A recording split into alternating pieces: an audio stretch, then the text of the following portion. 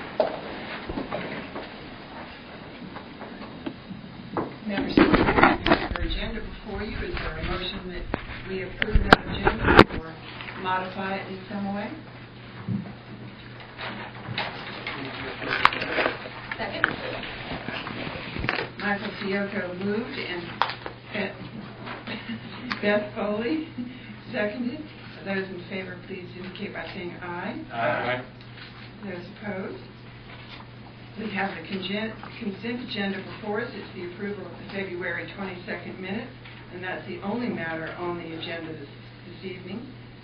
Could I have a motion to approve the consent agenda? So moved. Second. Moved by Mayor Pro Tem Pamela Baldwin, seconded by Michael Fiocco. Those in favor, please indicate by saying aye. Aye. Those opposed? The next is a matter, is the citizens' matter on our regular agenda, and um, I don't believe we've had anybody sign up, have we, Alice, except for Bo Peep? Yes. Um, There, we were trying to exercise some, um, some humor this evening, so uh, since Bo Peep is not with us, we'll proceed then to, um, uh, to other matters. Um, I have not um, uh, delineated all of the various meetings I've been to lately, which I have been doing, um, for fear that that's going to become exceedingly boresome, but um, I I have been to the Triangle J Council of Government meeting of mayors, um, in which we um, discussed, they discussed the um, efficacy of the solar bees. Um, Yes. Um, Some of us had some rather pointed questions, and especially the pointed question about the fact that that little project is $3.1 million and will continue for, I think, until 2018, um, uh, which is utterly ridiculous. They know it's not working already, and the idea that they would extend it even further is just quite. So, um, Both um, the chairman of the county commissioners and I have a few questions for them, but um, it's already been allocated by the General Assembly, so apparently that's a fait accompli. Anybody been to anything else of interest that you'd like to report? Main Street climate change, fairgrounds, RPO? I can mention that uh, RPO has not met since our last meeting. Uh, They'll be doing that again in April. Um, The PBA has elected new board members, they are progressing. And Main Street uh, meeting last week, I I was out of town, so I did not attend, but um, uh, it is making good progress, um, both with the uh, design subcommittee and the promotions uh, subcommittee, so things are going well.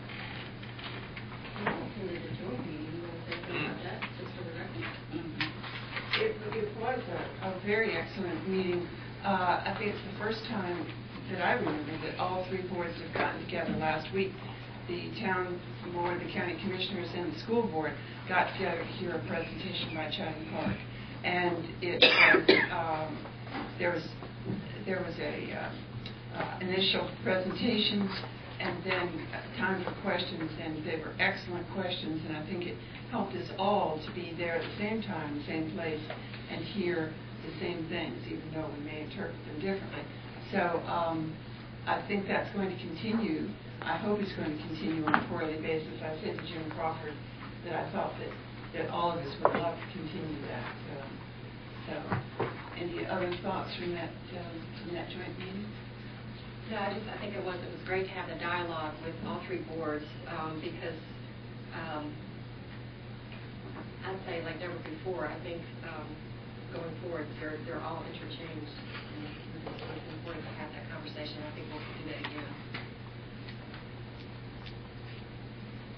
I I did also attend a uh, EDC meeting. It was Kyle Touchstone's first meeting in which he acted as president of the Economic Development Corporation, and we had a presentation uh, by the Newland communities about Briar Chapel. Uh, That was very interesting uh, to hear the discussions of the proposal for the commercial districts there in the front, and um, um, and so that was just excellent. Any other reports from meetings? I just thought I'd mention, um, I attended uh, I met with someone from the Chatham, North Carolina Arts Council today. I'm the vice president of the Chatham County Arts Council. And, uh, it was great. He had some suggestions on, um, if we want to pursue having a public art, um, ordinance. He had some very good suggestions about, um, some good examples in the state as well as who to talk to at the North Carolina Arts Council. So I thought that was very worthwhile.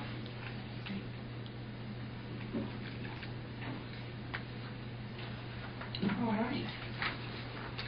We'll progress then to old business, the, Oh. oh, Actually, I could report. oh, excellent. Sorry, I uh, jumped jumped forward on that. Um, Yes, last Wednesday, the Chatham County Climate Change Advisory Committee did meet.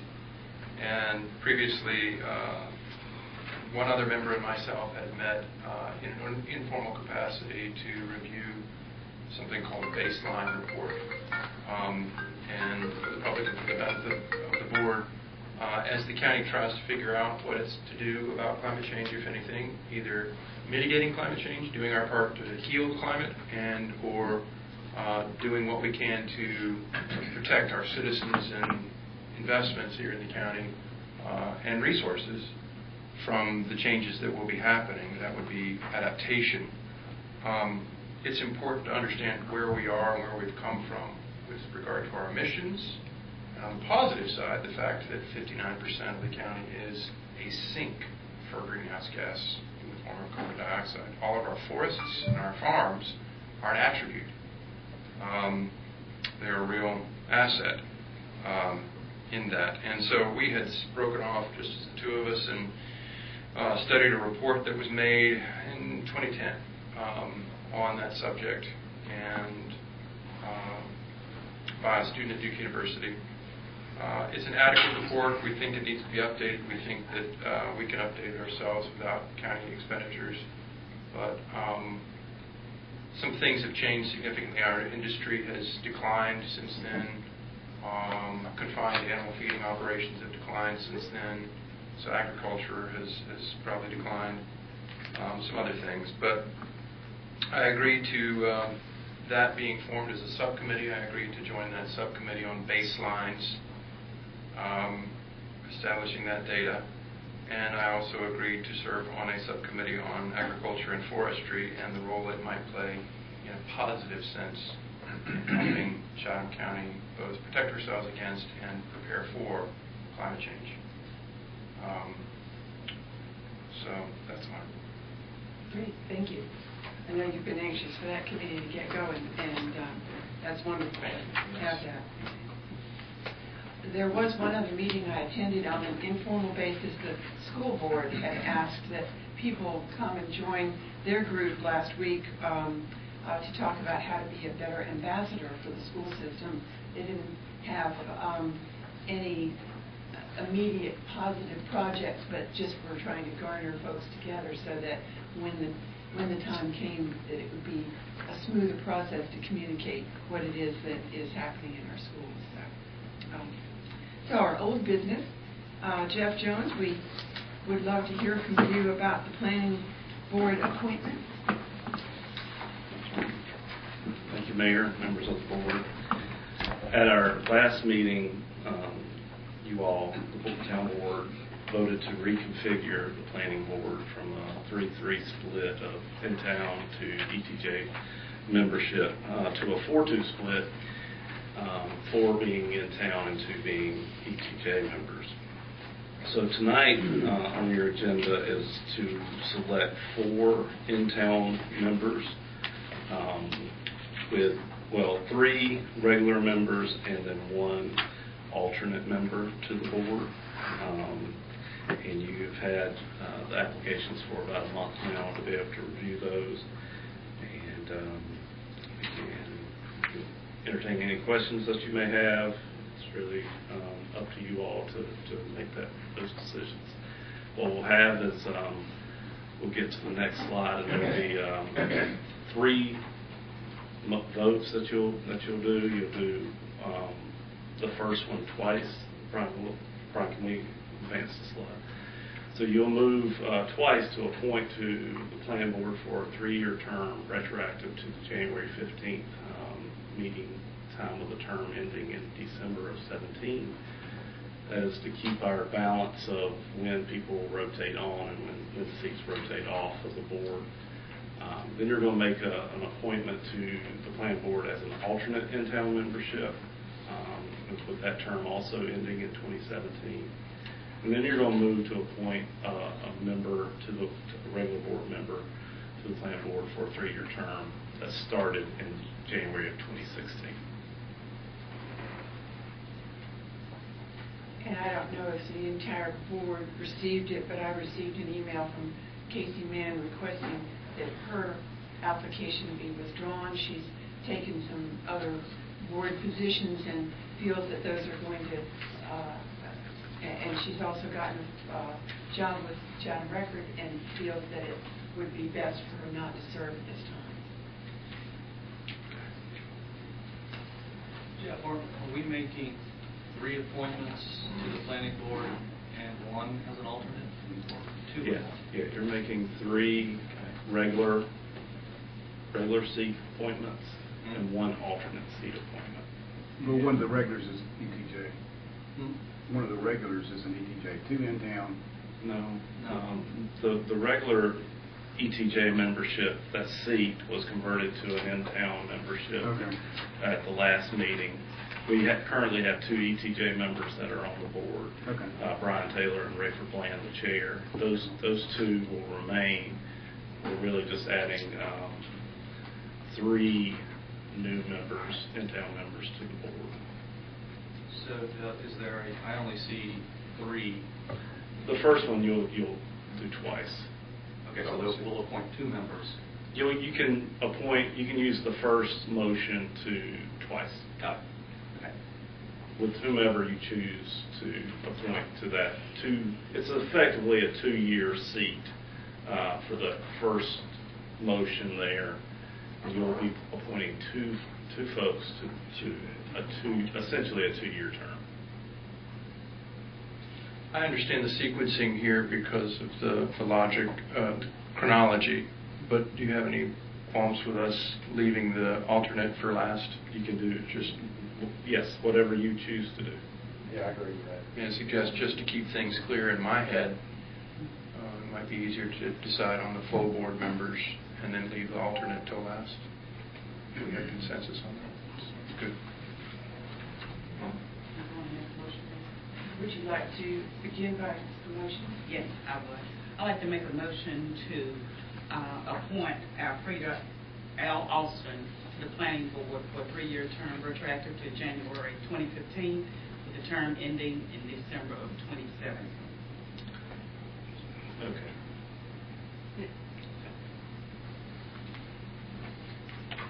You've heard the motion. Is there a second? Second. Motion made by Pamela Baldwin, seconded by Michael Fiocco. Those in favor, please indicate by saying aye. Aye. Aye. Those opposed? Thank you. Further motion? I'd like to make a motion that we appoint uh, Beth Turner to the planning board for a three-year term, retroactive to 2016, to the term ending in December of 2018. You've heard the motion by Michael Fiocco. Is there a second? May may we discuss? Certainly. Um, I have served with Beth Turner, and um, she's, I consider her a friend. And um, I was pleased to see that she has an interest in continuing public service.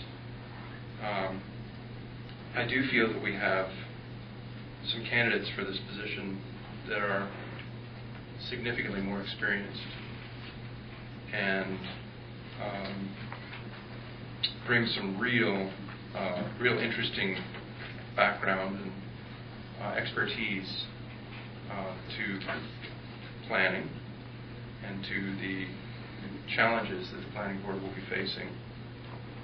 So, um,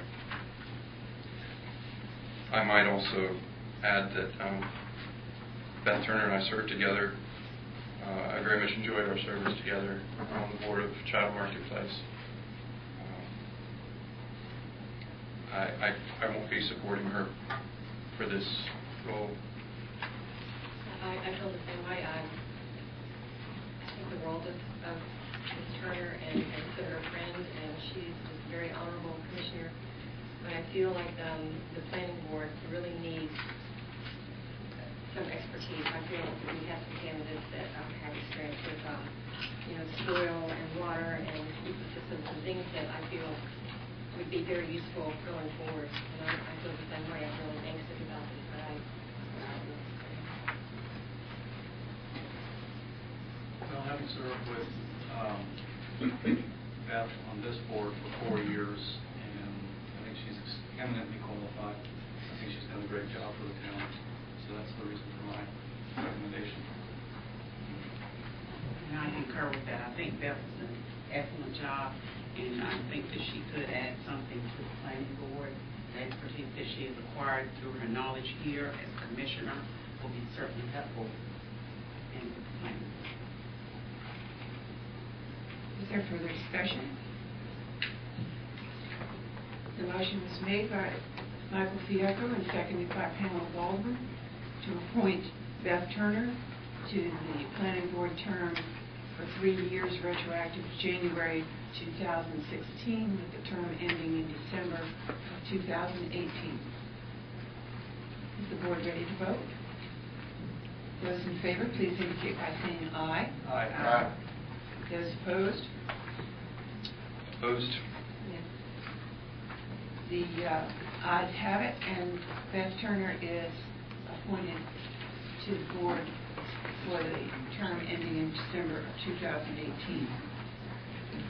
We have one more appointment then for the term ending in December of 2017 and the alternate. Is there a motion for either of those? I'd like to make a motion for Carl Schaefer. I know he was on the planning board at one time. He left uh, for some personal reasons, um, but uh, I think he's back in, maybe back in the saddle now. Motion made by Jay Farrell. Is there- Second. Seconded by, by Beth Foley, so, um, is Which- there... Which which seat is the motion for? Seventeen? Seventeen. Is there discussion on the motion to have Carl Schaefer serve in that capacity? I was deeply impressed with his um, uh, qualifications and his background and expertise, and uh, very strongly support that motion. Further discussion? Uh, Carl's served on the planning board for several years, and I um, really thought highly of his work on the board. Um, I think he's a very capable, objective person, so um, I've always uh, thought highly of him. Is The board ready to vote? Those in favor of Carl Schaefer to be appointed to the planning board for a three-year term for retroactive to January 2015 with the term ending December of 2017.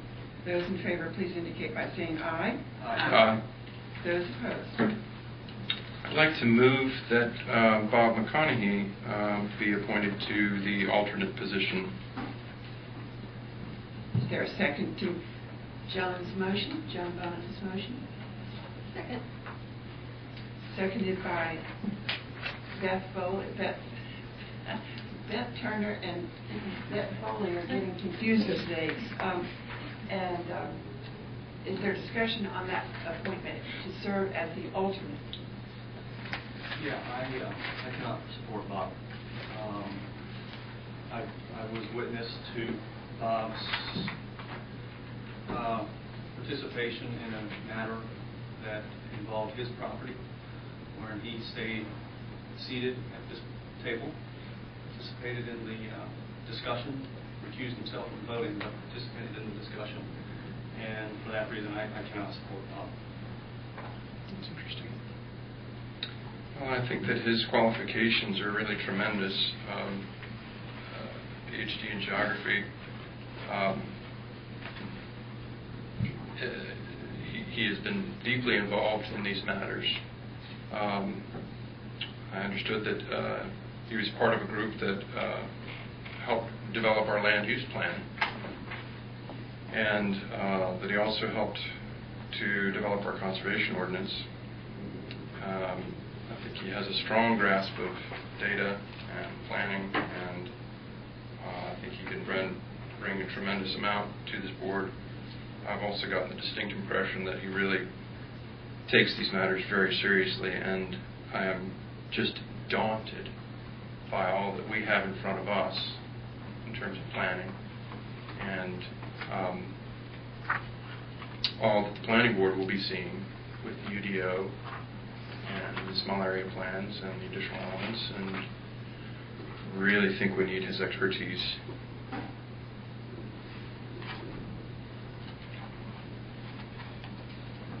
Is there further board discussion?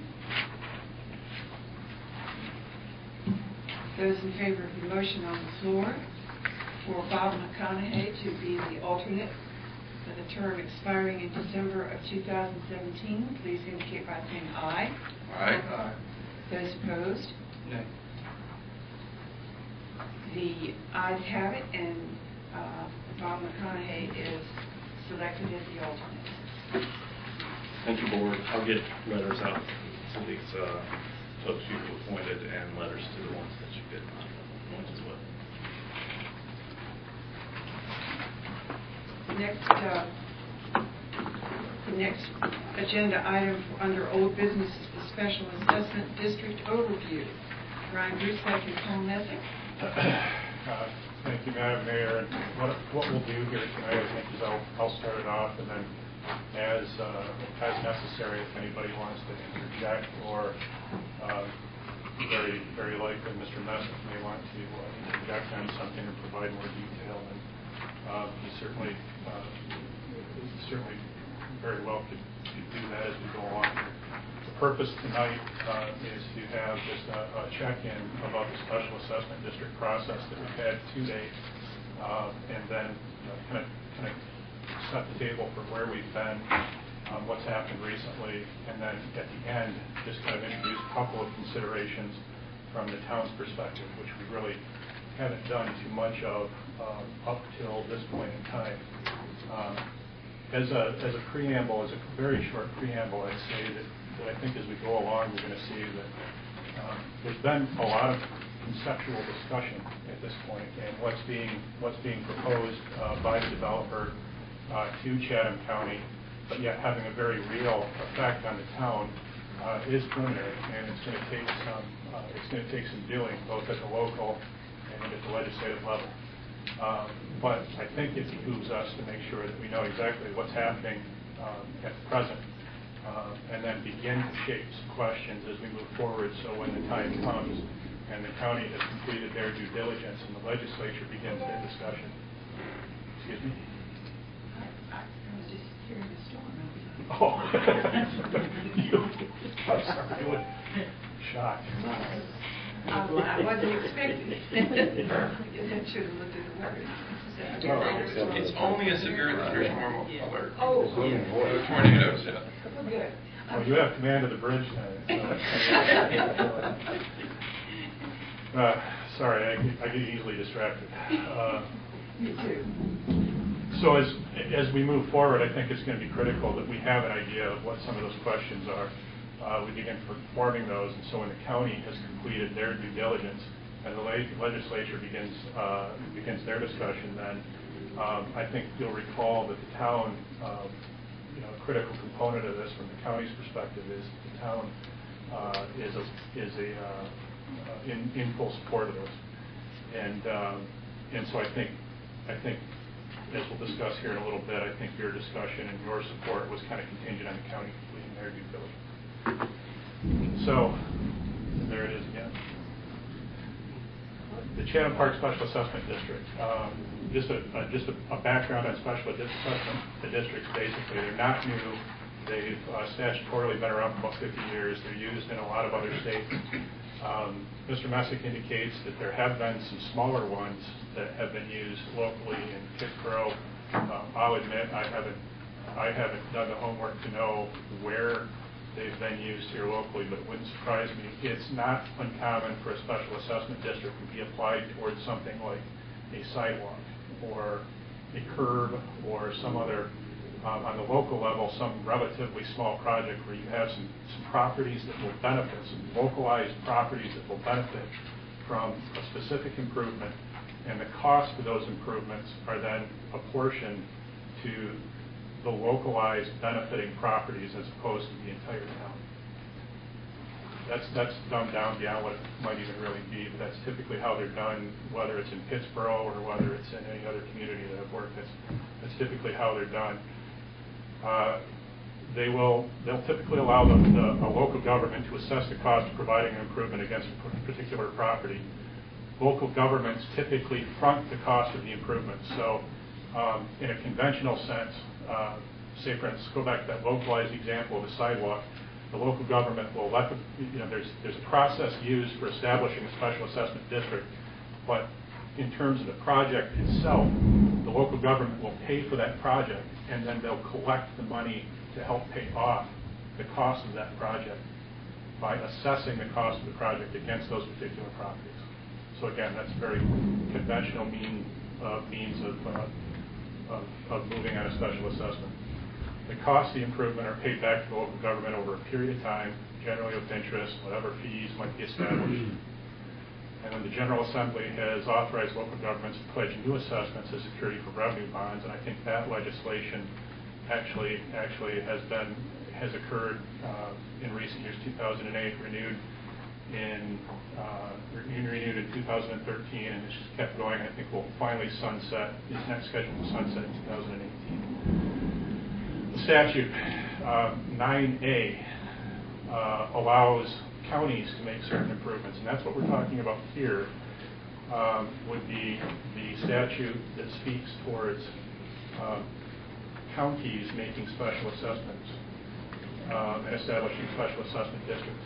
There's an Article 10A, and the A corresponds to the new legislation. Um, There's a 10A which is specific towards municipalities, and municipalities have a separate set of, uh, of improvements that they can make. Um, In this case, we're talking about counties, and I didn't, I didn't include this necessarily as a bullet, uh, and we can get into it in a little bit, but essentially, the reason for talking about the special assessment district occurring on a county-wide basis is the, as it stands right now, the vast majority of the 7,000 acres are located in our extraterritorial jurisdiction, but they're located in Chatham County. And the existing statutes do not allow, and Mr. Messick can step in here, but based on, based on my diligence, the, uh, the existing statutes do not allow for special assessment districts, uh, for municipalities to establish special assessment districts uh, unless the property is annexed or unless it's part of their corporate boundary. Um, And I don't, I don't think any, I don't think anything has, has changed that recently. So what we're talking about here is Chatham County actually being the arena at this point in time until annexation occurs, and that's a whole separate other discussion. So these certain improvements, and I've got a list of them, and I, I think I copied off, uh, I copied off for you, uh, and, and these, and I could have probably put, I could have probably italicized some of these to separate out exactly what these, what these certain improvements are, but, um, constructing and I won't read all these word for word, but constructing, reconstructing, paving, paving, widening, otherwise building and improving streets and installing curbs and gutters. That's, that's, that's a pretty common one. Um, Same thing, but for public streets. Here, it allows for water systems.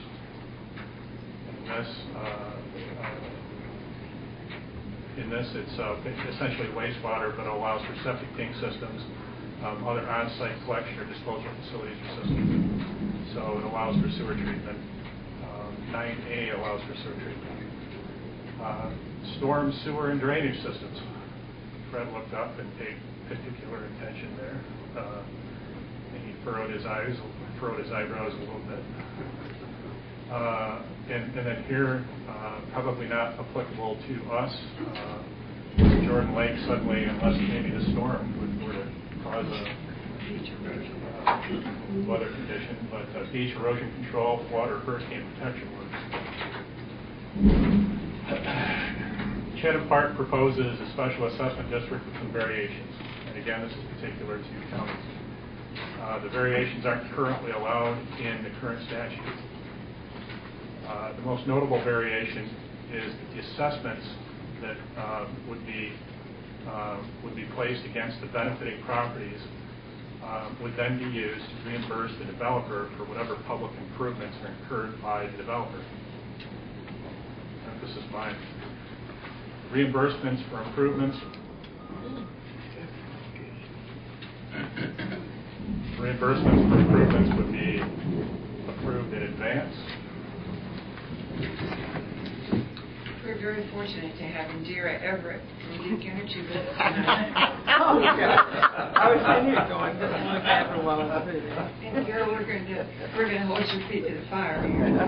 You're also fortunate to have hard copies up here. Sorry, y'all don't have hard copies. But I think we can continue.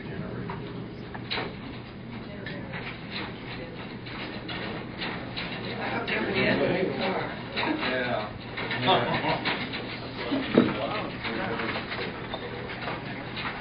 Okay.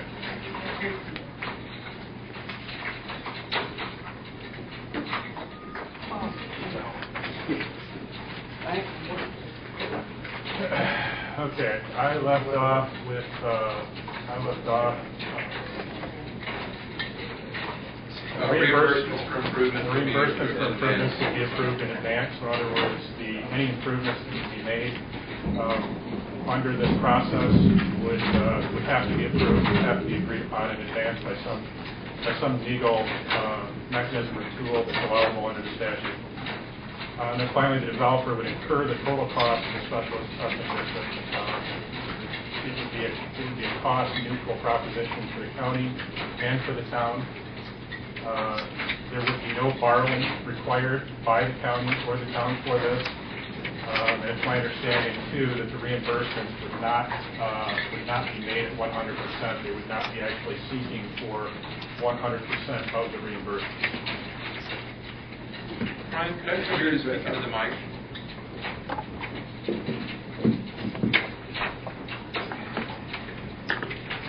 Mr. Bruce, on the, the five hundred dollars, is that a one-time, one year, or is that? Right, but on this one residential property, one time, five hundred dollars per year. Yeah, and an average of five hundred, so some would be less, some would be more.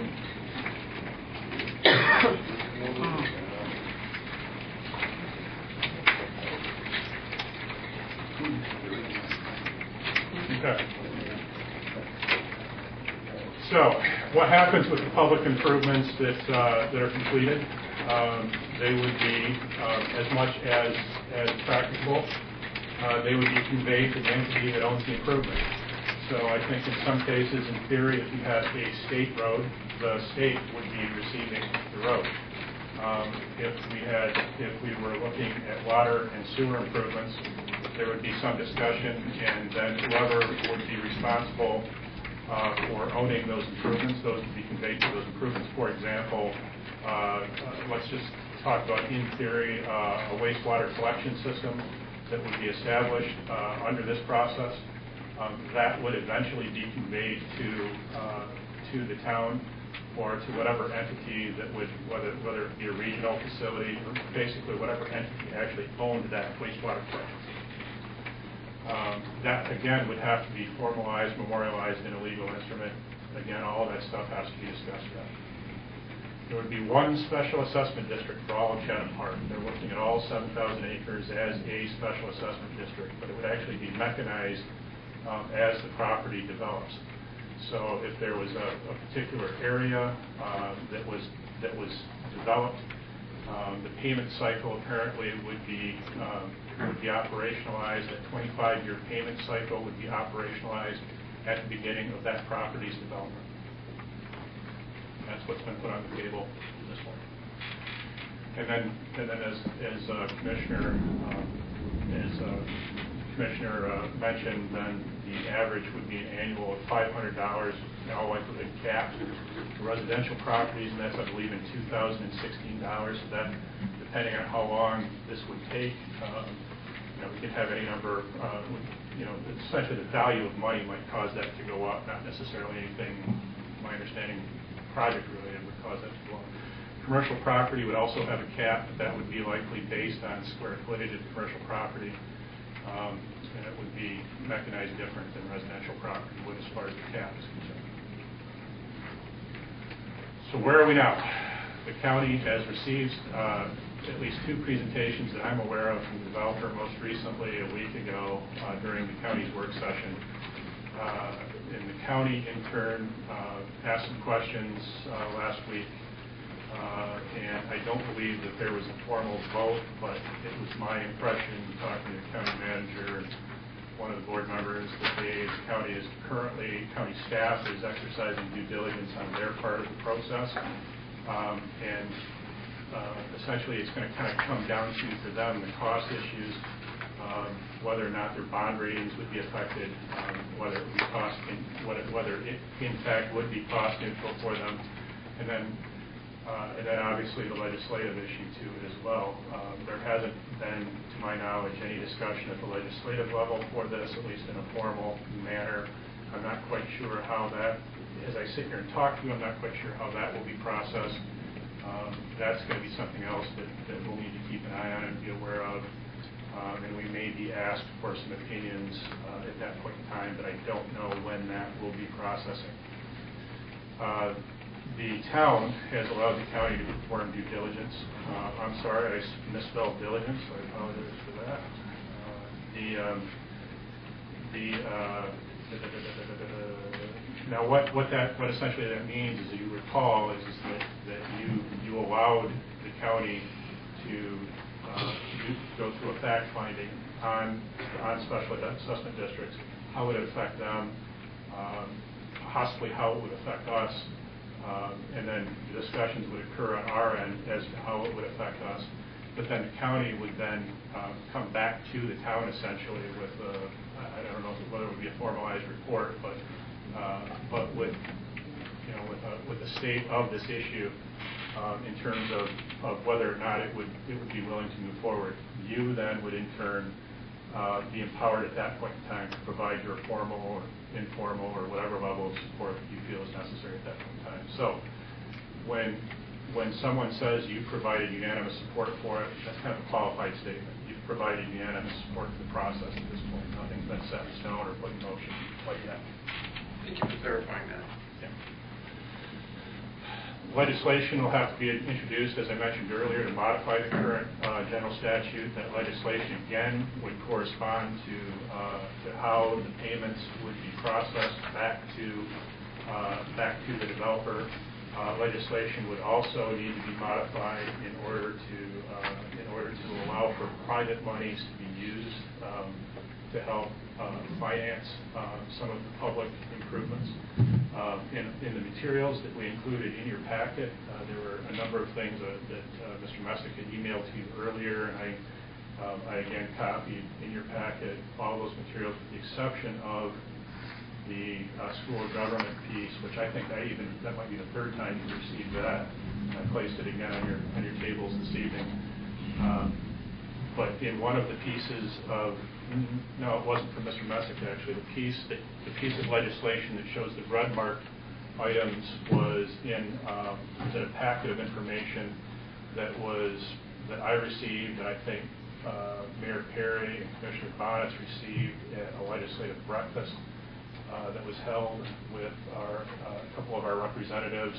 uh, And uh, there was a red line, there's a red line copy of, of, uh, of 9A uh, that- that actually outlines the proposed changes to this point. Uh, So that gives you a bit more formal background about how that will be processed at the legislative level, at least as it stands right now, until I hear otherwise. So, check in a little bit first. Is this clear, as mud to this point? Is a lot of this, you know, go ahead and kick me if you've heard this before. I think with something like this, there's certainly no shame in repeating it for a third time, and if you have to ask any questions on it, there's no shame in asking any question up to this point. Um, But uh, in terms of the special assessment district and what, what was, what is currently allowed, and the special assessment district in terms of what Chatham Park and the developer is proposing um, that be changed with this process, um, that is a, a very nutshell overview of, of, uh, of where we're at to this point.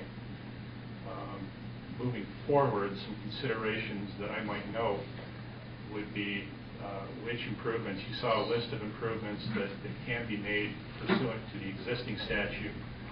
Um, Which improvements would be contemplated for the special assessment district? In other words, how specifically would Chatham Park um, make improvements for the special assessment district?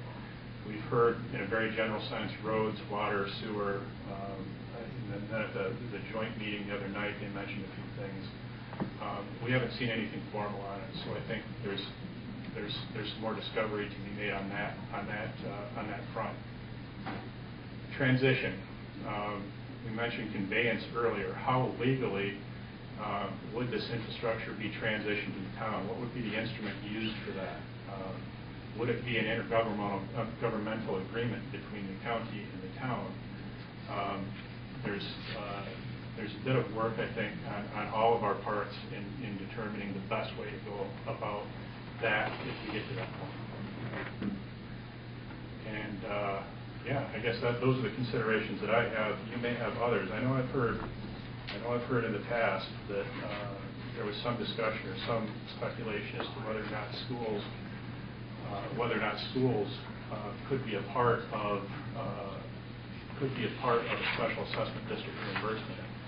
My understanding of the statute as it's written right now is is that's not, for better or worse or indifferent, it's not something that's part of the existing statutory language. Whether or not that would change, or whether they, whether the developer has introduced some other mechanism to make that happen, uh, I'm not aware. Certainly, infrastructure that would help serve schools, um, I believe, you know, in theory, would be in play for this. But would there actually be money, for example, to, uh, to build a new school building or build new school facilities? That I'm not as clear on. My first glance, my first sort of prima facie glance as a lawyer might say, no, there's nothing I can see that, that that gives us the ability to do that right now. My question would be, I could see that it maybe it could be used to pay for parks that are going to be attached to the school. My question would be, could they do that for a private school that would not be, I guess it would still be open to the public after hours, but that would be my concern.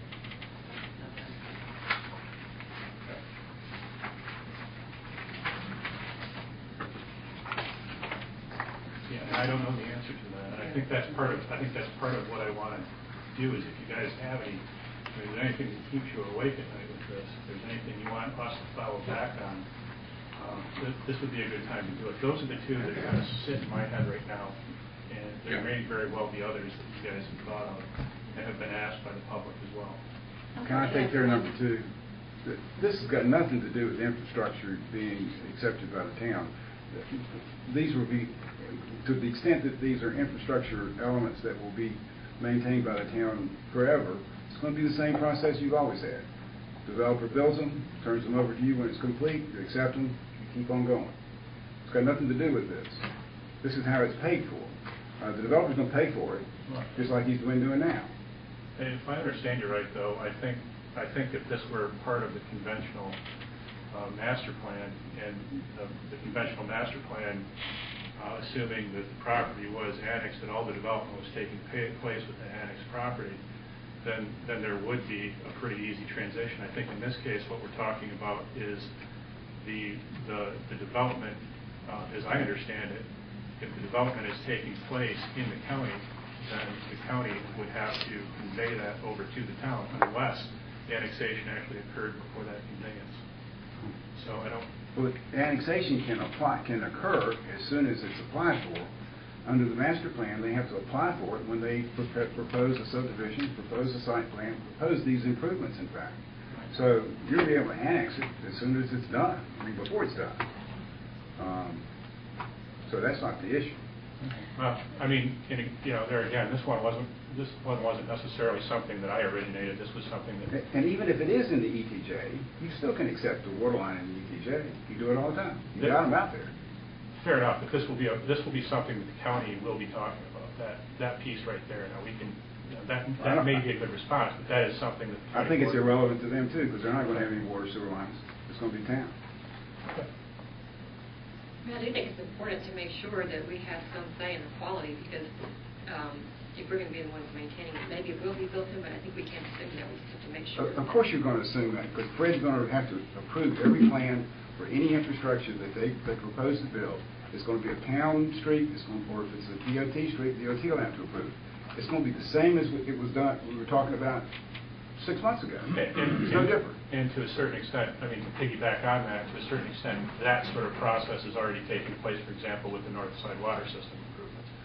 Those, uh, those contemplated improvements, the the elevated tank, the the distribution system, uh, the valves, uh, a lot of that, a lot of those improvements currently, um, are technically located within the ETJ and not, and have not been actually annexed yet.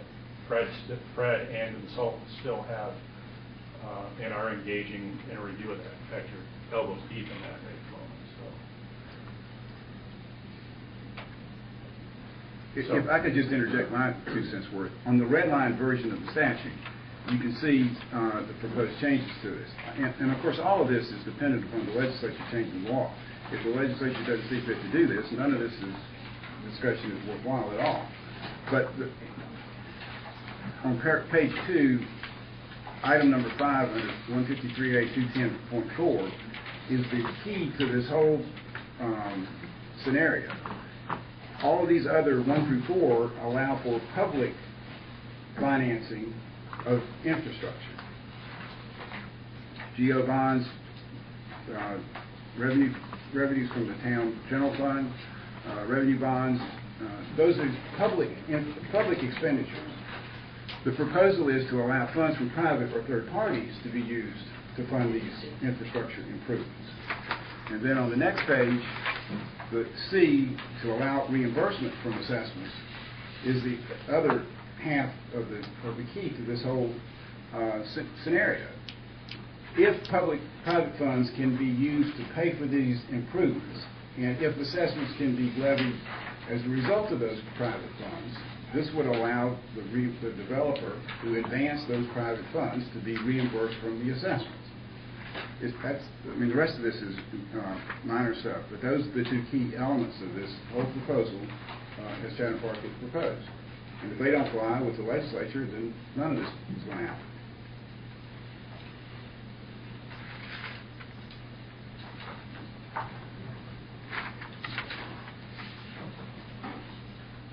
And all the other examples in, in North Carolina have all been with public clients, and they're not proposing that. There is going to be a cost. Uh, The county already collects your taxes. It has all, sends out all the tax bills, collects all the taxes.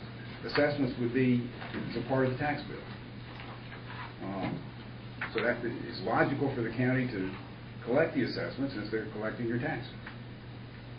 If you were to do your own assessments, for example, you'd have to have a parallel system to the tax system. And so there would be even more cost to do that. Uh, The county's going to have to have software to be able to handle that, and developers promise to make sure that the county doesn't have to eat that, but uh, I mean, that's the, that's the reason for the county primarily, is they collect the taxes. Is it, is this gonna possibly open the door for other developers that come into the, uh, town or county? And this- if they wanna recoup some of their money, are they gonna be able to come to us for a special assessment? Well, sure, they can. You can't have a, you can't have a provision that only applies to one person. That- That would be established through a separate, a process that's separate from this that you're talking about. You, you, I mean, if somebody, if somebody had a project that you, and, and the law applied, and you wanted to pursue it, then yeah, you could consider that, sure. Well, there certainly have been laws written for specific companies in this state. I think that this is a proposal for a statewide, um, change in the law, not a local act. Understood. Can a parcel be subject to more than one special assessment district? Sure. Now, going back to the traditional example that, that Brian was talking about, the sidewalk. I mean, it's been 20 years since the town did that, because the board does not like to tell people they have to pay for an improvement. Uh, And so, it- but it hasn't been done very often, but you can, and you, and probably should consider it at least as an option. You can tell, if you get a sidewalk in front of your house, that you have been specially benefited by that public improvement. But, and, and it's reasonable to expect that you should have to pay for it rather than somebody on the other side of town have to pay for it out of general fund revenues. But previous boards have been reluctant to do that. They have seen, it's been more of the practice that general fund pays for regardless of whether it benefits that particular property owner, that street, that community, that neighborhood. um, But it doesn't have to be. So you can have a special assessment for a sidewalk or a street and still have something like this as well. I can't really imagine why, because this will be brand-new infrastructure, and why would you need a sidewalk added? I mean, later on, you could have a, a traditional assessment if you wanted to do that. Do you have to establish a district to have an assessment? The, the district is just a territorial geographic area.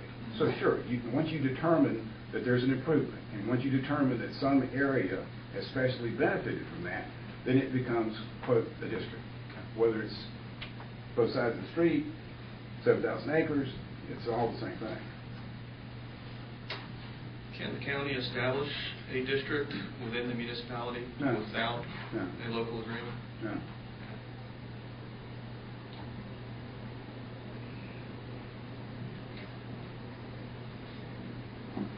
You mentioned that um, the county would do it because it, majority of the property is outside of town limits, municipal corporate limits. That, that's one reason. Okay. Is there another? tax collection. They have the mechanism to collect the assessment because they have the mechanism and authority to collect the taxes. Can the municipality establish a district providing that the county perform that collection? Well, Yeah, they collect your ad valorem, but Right. yeah, they probably could collect your assessments as well. Yes, if you look at the, there's, a- as I- as I said before, 10, there's the next, the next, par- uh, the next, uh, 10A actually speaks directly to municipalities and and has a special assessments for critical infrastructure needs specifically for municipalities. And so there's a separate process that, that is allowable for that. Um, you know, again, in this case, and, and, and and even in that, even in that structure, I think for all practical purposes, if the, if the town did decide to establish an a special, a special assessment district for its own purposes within its own corporate boundaries, in all likelihood, the county would be the ones administering that process anyway, because they currently administer our tax collection. I mean, unless conceivably, we could go ahead and do that on our own, but wouldn't be my recommendation that we do In this case, I don't, I- I think that that answer has to be nuanced a little bit. I don't think in this case, based on what I have, my conversations with the developer is, is that it's not just for tax collection. It's, it's because these, these projects are not in the corporate boundaries of the town of Pittsboro.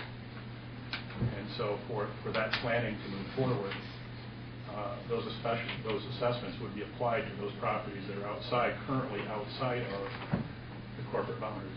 I, think the other rationale to, to go with that is that if they were going to build a large thoroughfare type street that might go into areas of their project that are not quite ready for development, are not quite ready for a site plan, or quite ready for a subdivision, but yet could qualify under the assessment position, even though it's all going to be held in advance till it is developed, uh, then that would be the rationale for trying to do this through the county, and, and because would, that part of it would be the ETJ.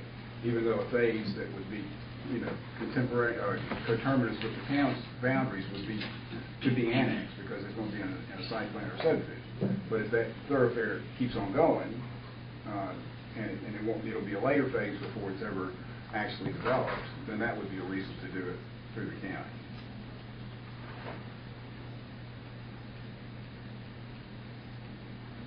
Are there other questions for Mr. Messick or Mr. Gruesbeck? I just have one, if you could clarify one issue, one thing that was said. Commissioner Fiocco asked, could a town establish special assessment district? Sure. And you were indicating yes. Mhm. So, but this article says just of a county. Well, this is chapter one fifty-three A of the Okay. general statutes, that deals with counties. Chapter one sixty-eight deals with municipalities. So Okay. Article ten is a part, I mean, Article nine A is a part of one fifty-three A. Article ten is a part of one sixty-eight. He's got to get the, another chapter of the book. Okay. This, this is, this is what has been discussed to this point in time, because it's all, the game is all taking place in the county at this point. So that's why, that's why you have nine A. If we had been talking about the town, we'd be talking about ten A. The, the, the- the differences are not significant. Um, I think it'd be really helpful if you could compile a list of all the things that might be developed through this model of an assessment district. Um, You know, Conceivably? All the things that might conceivably be developed? that are eligible for, yeah. I think all of them would not occur until somebody initiated it. The way the statute is currently written in that slide, that's what's eligible. Okay, because, and I'm looking for clarification, because, you know, I start digging in myself, and I'm going to session laws and House bills um, that lead me to this long list of things. Well, it is, it is a long list. Streets, curbs, gutters, pub- uh, sidewalks, water systems, wastewater systems. I'm, I'm looking at something that's telling me airport facilities and those kind of things. Mhm. Okay, so. Internet infrastructure? Beach erosion, um, Communications that's going to be helpful. Infrastructure listed?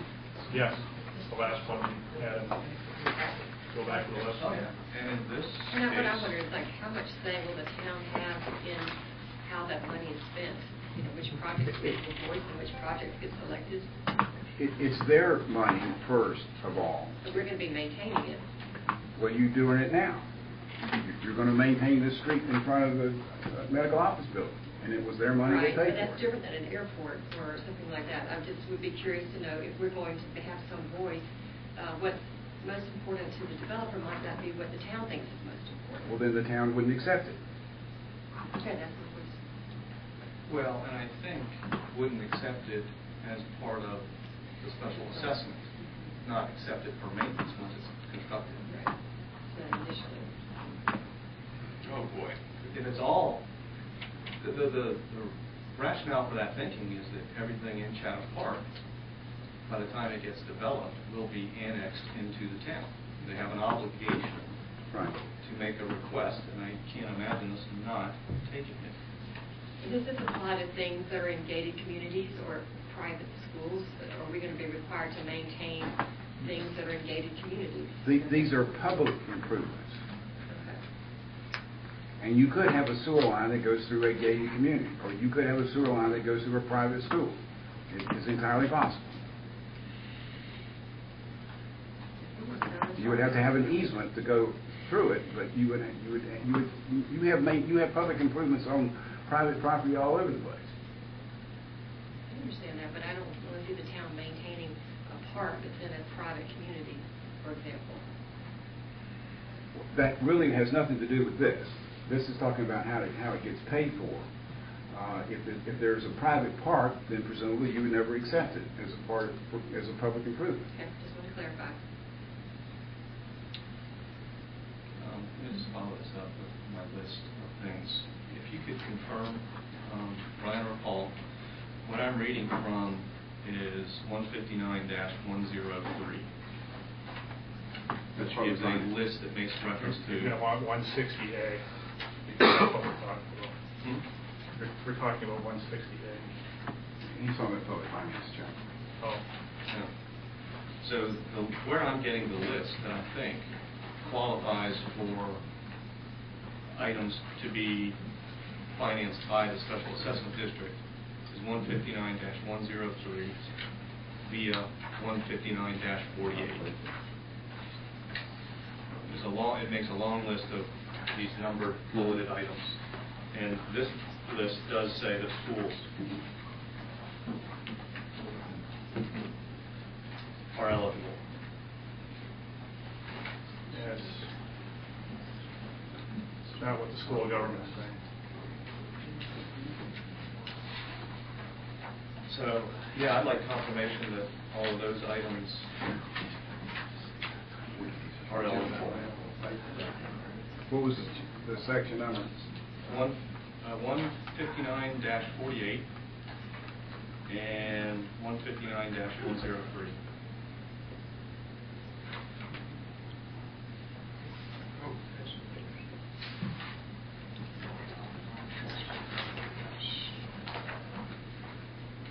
And I'm getting there through session law 2008-165.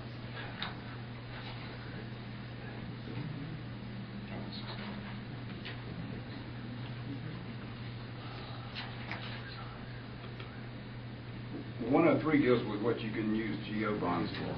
Yeah.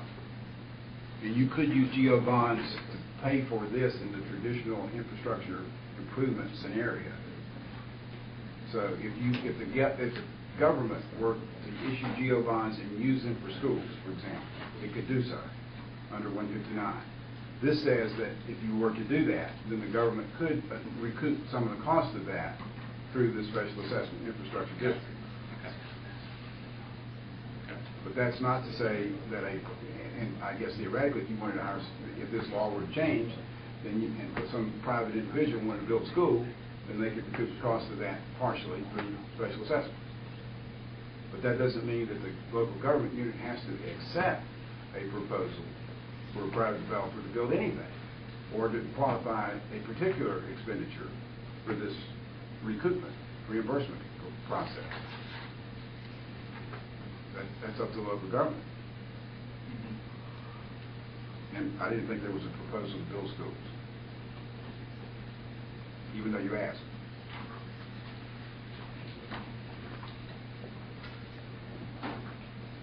Well, given how expensive schools are to build and given the $500 annual limitation, I'm wondering, and given the fact that Chatham Park does not wish to completely recoup their costs, I'm thinking that they won't.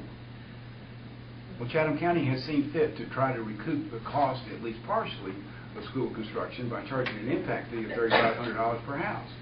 So the county has never seen fit to try to collect hundred percent of the cost of the schools anyway.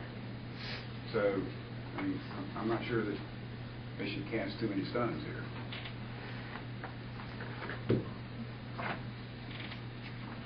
And one fifty-nine forty-eight is just the purposes for which you can issue bonds, borrow money. I think legislation's linked those items to a special assessment district. Yeah, that's, that's not any of the information that I've seen with the school of government. It's, if you review the article we have from the school of government, there's no reference made towards schools with, with regard to special assessment districts. Now, if there's, uh, I'm willing to go back through it, but this is, you know, based on, based on what we found through the school of government, I haven't seen that. That's at odds. Something that the school is sharing. Other further questions? Mhm. Mr. Bonitz? Um, Well, we're on, the- while we're on the subject of of this, just to, to be clear, I asked, uh, can communication infrastructure be uh, paid for through such an assessment? In what infrastructure? Communication infrastructure, For example? internet, fiber. Well, That's a whole other, uh, internet is a whole other issue, I think, as, as you're probably aware, there's, there are, there have been limitations that the courts have placed down with uh, municipal ability to, whether it be county or local government, to allow, uh, to have um, public uh, internet infrastructure and to use it to pay for public internet infrastructure um, whether, the- whether or not the developer would seek to be reimbursed for um, its portion of the public, uh, it- its portion of, of internet that they make available, or internet infrastructure they make available. Um, I'm not quite sure where that would be applied. Uh, The short answer under special assessments is I don't see anything in the special assessment district uh, legislation that are statutes that, that allow for infrastructure at this point in time. And again, like I said, the courts have kind of come down pretty hard on the ability for governments to do that, um, following the experience of some of the others that have tried to establish public infrastructure utilities for internet. Um, This has been a really very helpful con- uh, conversation for me, and uh, Brian, I I really appreciate your your presentation.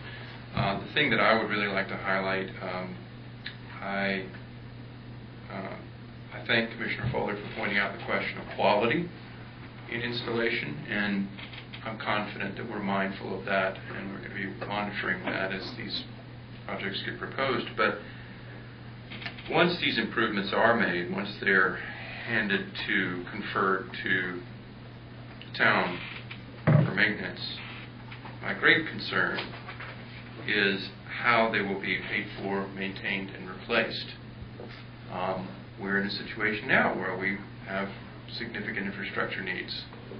And um, I don't believe we're in a position to replace them ourselves. Well, I mean, keep in mind, as this development occurs, they would, they would in theory be adding ad valorem property tax revenue, um, as well as, as well as revenue on the enterprise side with- in terms of water and sewer. Mhm. And so that would be used to help maintain those facilities. Mhm. Mhm. Um, When will we, how how will this process be sequenced? For example, will we see a specific and detailed list of the improvements before the legislation is proposed? I'd say no. And I'm just guessing that they're going to tackle the issue of the legislation first and Mhm. and try to, try to check that milestone off, and then following that, then, um, then as you have from the, the statute, you know, there's two different copies of, of the statute that you have. Um, There's a process for petitioning, and what, what would happen next is essentially the county would receive a petition from the developer, and it would have to outline what is part of the special assessment district at that point in time. And so I would think at the time of the petition is when we would see um, formally, I I think discussion-wise, we would have an idea before that, but at least formally, it would be no later than that. Okay. Um, And so will, how will that sequence uh, align or not before or after the small area plans? Um, The, the first slug of small area plans? Yeah, I think we're going to see the small area plans.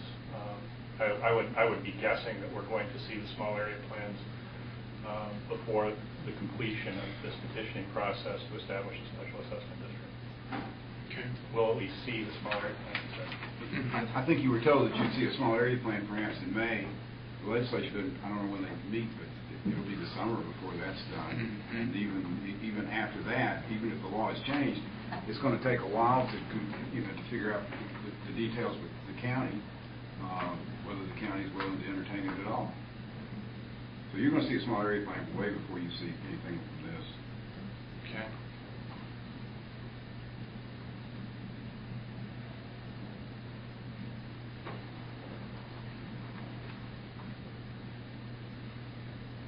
And from what I understand, the small area plants are going to be grouped. I, I originally thought we were going to be seeing 27 or however many there were, um, one at a time, but apparently this first group is going to be inclusive of about seven or eight different ones.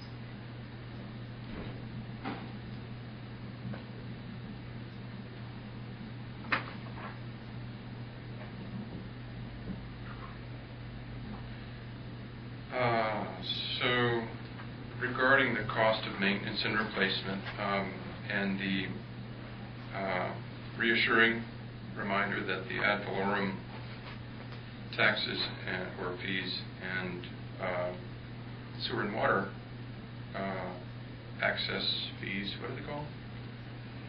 Your access fees? There's access and capital recovery fees for water and sewer. Um, So, we have the mechanisms in place, um, but, um, you know, at some point, we're, we're we're to be asked to support legislation that will result in construction of main, of infrastructure. We don't know the extent of it. We're going to be asked to pay, for- uh, to uh, take on ownership of it, and future citizens will be asked to maintain it and, and replace it someday. And um, I, I just would like to go in with eyes wide open about that. Um, We've already seen some infrastructure like the sewer and such that um, uh, I feel makes a very compelling argument for having detailed um, financial projections for all of those mechanisms that you mentioned, the ad valorem tax, the access and capital recovery fees, and the others that I haven't mentioned. No. And as, as those, as those details are put together, Yeah. then you will have those to review. Okay. And it's got to be this, that would be the same, I guess, the same issue with any details associated with this. What we're doing is, is setting the legislative table for this special assessment district to occur. Mhm.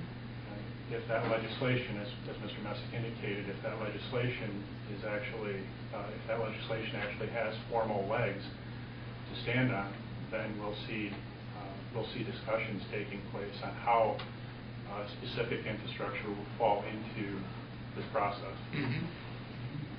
So that, at that point in time, as I, as I said before, it would, it would appear to me that we'll, um, if we, if we don't already have some conversations taking place as to what will be a part of a special assessment district, what specific improvements would be part of the special assessment district, if that conversation never took place ahead of time, which I doubt severely that it would not take place ahead of time, we would at minimum uh, have an ability to see that happen within the petitioning process because the petition has to, by statute, contain that information.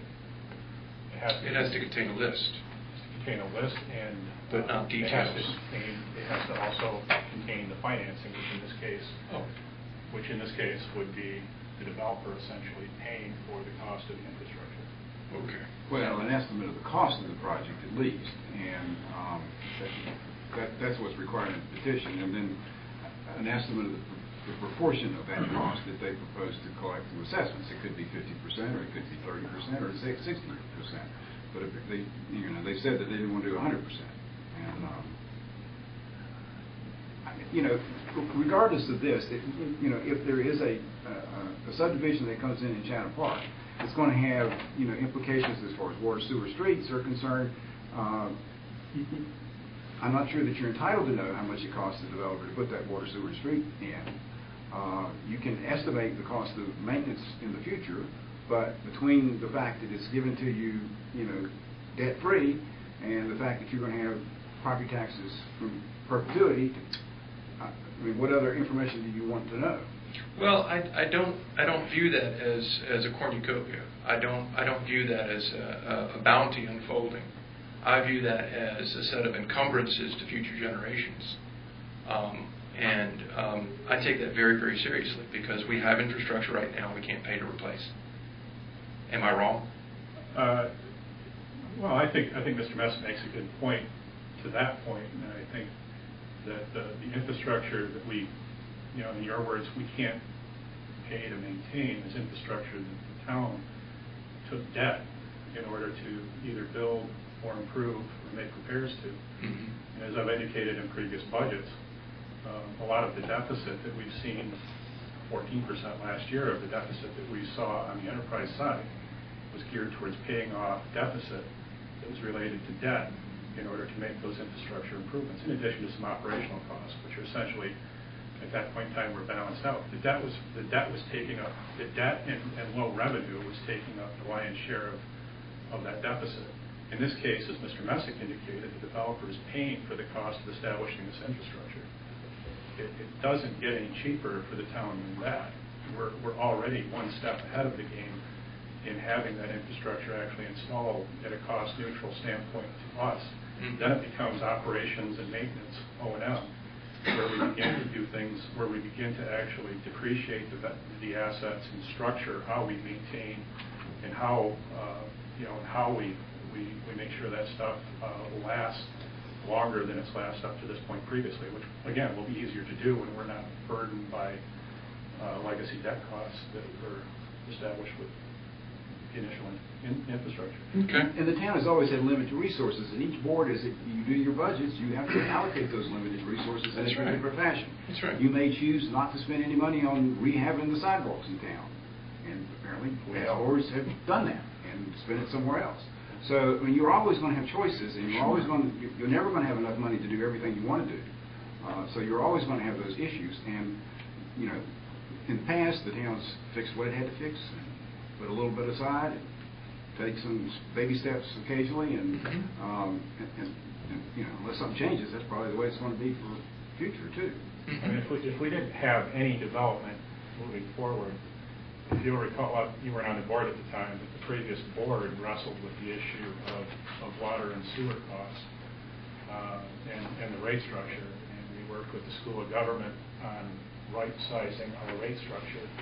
And the rest of the board will recall the projections that were received at that point in time, um, all things equal, showed um, some positive growth, uh, even dare I say surplus in, in future years if we didn't make um, drastic operational um, expenditures to the system. So if we weren't, if we weren't to do anything right now, if we were to have any sort of development right now, um, in theory, based on what we found, that we should be, uh, we should be completely um, uh, solvent plus uh, in future years, given that a lot of the debt falls away.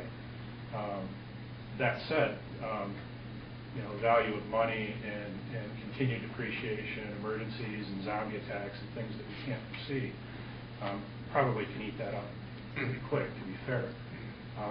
But, but the idea with development is that future development should help pay for operations and maintenance of things that get installed during that development. Absolutely. So exist, you know, so, so increased fee, you know, increased, increased utility revenues both on the fee side, um, but also on the, um, on the commodity side, Mhm. uh, are in theory supposed to help balance that out. Mhm. Likewise, ad valorem will help balance out the general fund side.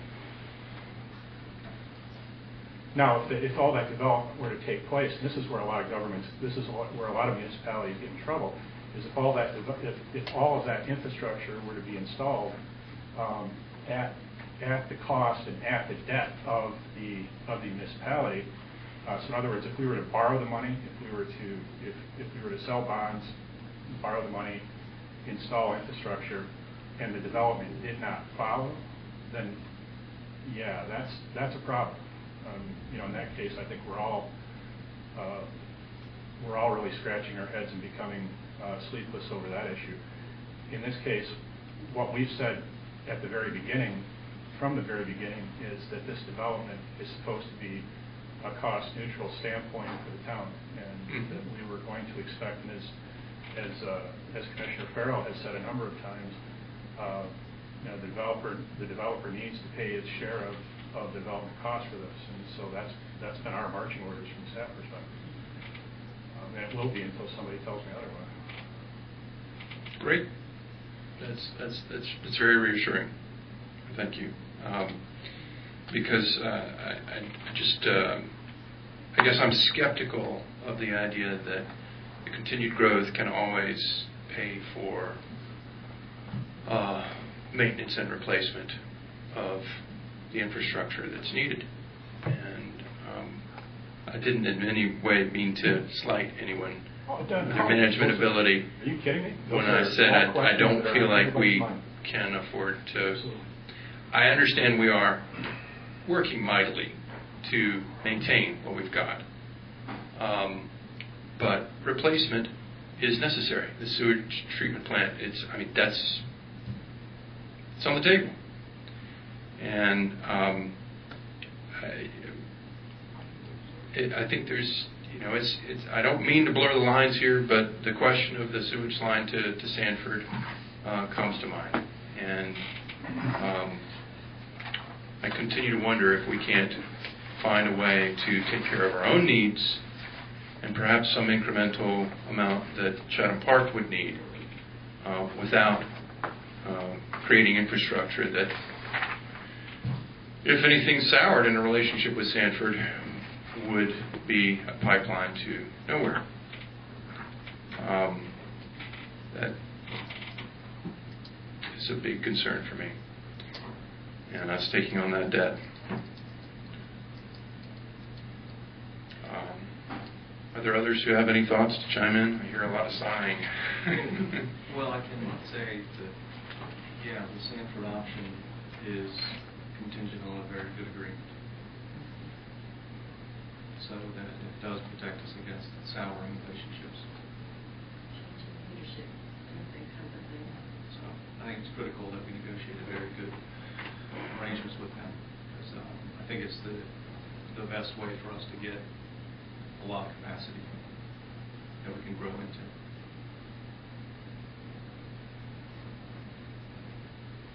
I think John's point is well taken in, in that, in that we do need to uh, consider future costs, and if this, if this development were coming in in the next two years, I'd be, I'd be frightened. The idea that we've got a good spread on it means that we can uh, create enough contingencies uh, and watch the, the budget process as it comes in, as those sales taxes, as the impact fees, et cetera, come in. Uh, I don't know if governmental accounting leaves a position for a sinking fund or something that anticipates those future costs. Is that what fund balance is? Well, that's a, the, as, it- as the budget ordinance currently structured, a reserve, uh, we have a reserve account that's currently established that takes in all of our fees that are related to, I say, in- they're not impact fees technically, but our franchise and our connection fees um, help build up what's called a reserve fund, and that helps, that helps for planning for future infrastructure, for making contributions, contributions towards building future infrastructure.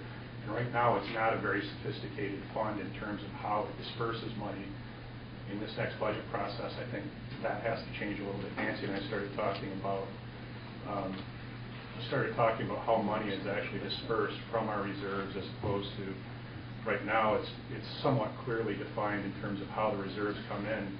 We have, we have one line that essentially goes towards helping to maintain, um, maintain and uh, develop our treatment systems, both on the water and wastewater side. We have another line uh, that's collected um, that uh, helps in- maintain and improve our distribution systems, both on the water and wastewater side when, once that hits the reserve, uh, once that hits our reserves, there's, it's not really clear how then it's dispersed from there to, to help do things like maintenance and future planning and things like that. And that's, I think, something that, uh, that we're going to have some third-party input on. And the only other way to do it is for you all to have the the commitment to appropriate money either from the general fund or from the enterprise fund into these reserves. And that means you gotta either take it from something else that you'd rather spend the money on, uh, or generate more revenues, to be able to put it in the reserve fund. So it, it's easy to say you have one and you are, or you ought to have one. It's, the proof is in the pudding, and when you all have to take money away from something else to put it in a reserve fund that might be sitting there for years before you ever uh, have the opportunity to spend it. I mean, that requires a lot of discipline for you all. Yeah, the, I mean, you're right, and the fund balance does, I mean, in a general sense, fund ba- ba- balance does help take care of those things, but it's not, in my mind, it's not a reserve fund per se unless you specifically designate it for that purpose. You don't want to build within public accounting, you don't want to build um, surpluses without essentially having a plan for it. And that's, that's where a reserve fund comes into play. And, uh, you know, it- as, as, as far as, you know, Sanford is concerned, that's, a- that's, that's a, a good example in that, um, when it comes time to actually discussing these, these issues with the LGC, as you recall from our meeting with the state a couple weeks ago, that, that how, how we actually guarantee those payments from Chatham Park based on the fees, based on the development fees that we'll be collecting, and how we disperse those are going to be critical, I think, to how the LGC approves this. And so we'll be working with them over the next few months on how to do that.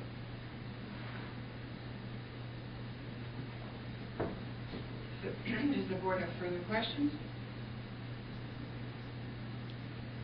No further questions. I, I- I do just want to put a bow on, on this. My understanding is that the special assessment district is a legal process, It has yet to unfold, and, and we don't know whether or not the legislature is going to approve it, by which the- this developer that they'll be making these investments up front, and uh, the assessment will, will be collected by the county, and the new property owners in Chatham Park will be taxed. It's called an assessment, I recognize, but it's a tax. And uh, residences and uh, commerce will be assessed fees. And uh, so the money's not just going to come from nowhere, and, um, but the infrastructure will be built, and there'll be nice neighborhoods and nice new commerce and nice new tax revenues generated and new opportunities for us to enjoy life. Have I summarized it correctly? Yeah, I think so. And I'm happy to be corrected. Yeah, no, it's, I, I think, as I said at the beginning, I mean, some of the first things that I, and Mr. Messick mentioned as well, there's a lot of work yet to be done on this, you're gonna see that, I mean, as far as the Sanford issue is concerned too, I mean, you know, to me, it's like leaving a putt short when you're playing golf. I mean, if you leave that putt short, it's never gonna go in.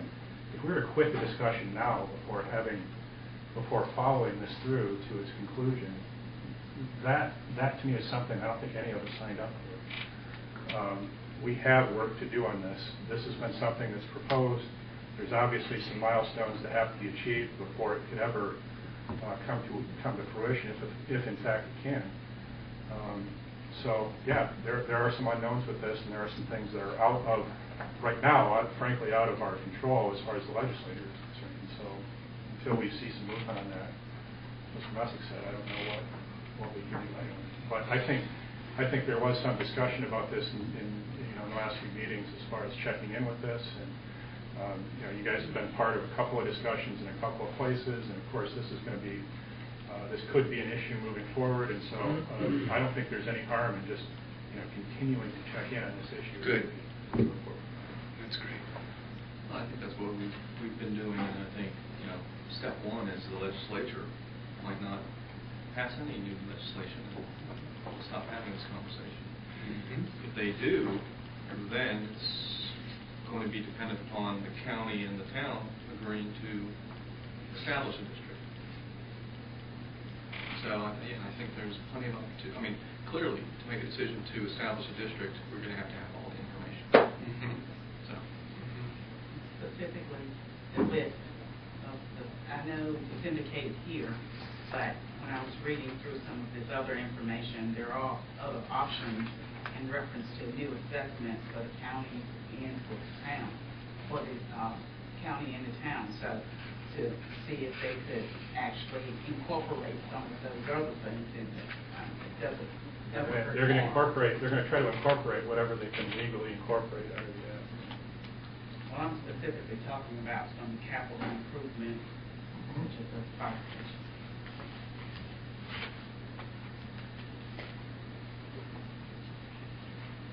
All right. Then we have received the update and no action is necessary. If the questions are complete, then we'll move to the manager's update on the project, which you have included in your package.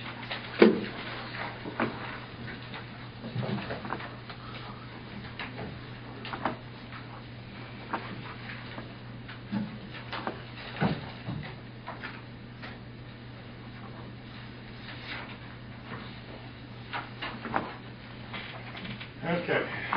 Uh, We talked a little bit about the Sanford line, um, the, uh, and the wastewater treatment plant enhancements. Uh, The mayor and I attended a meeting with representatives from DEQ um, and the Division of Water Infrastructure earlier this month um, to discuss the the revolving fund loan application. Um, As you recall, we received a notice of intent for the funding improvements that were outlined in that uh, application, which essentially included enhancements to the existing wastewater plant and the extension of a sanitary sewer force main from uh, from Pittsboro here down to Sanford. Um, The, the meeting uh, outlined, uh, outlined some more steps that have to take place, and we talked a little bit about them uh, this evening. Um, But essentially, uh, we're at the point now where we have to uh, begin to, begin to design the project, and I think that's where we start getting into uh, some of the more tech, the weeds of the technical issues. Mr. Royal has had discussions uh, regarding the wastewater treatment plant enhancements and the letting of the contract for that, and we are currently, uh, we are currently preparing an RFQ uh, for design work on, and I don't know if we ever came to a conclusion on whether we were splitting that between the wastewater plant and the force main, but we will come to that conclusion here in the next day or so. Um, That'll be released, we'll, we'll, um, we'll get, uh, we'll get a design firm on hand, and then that design firm will begin, um, that design firm will begin making, um, uh, making its, putting its plans together, and I've got a, included as an attachment to my report, and we'll get that blown up a little bit for you here. It's not the most,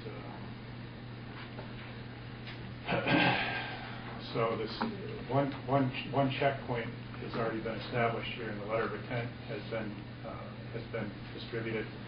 Um, That would be the intent from the state to help fund the project.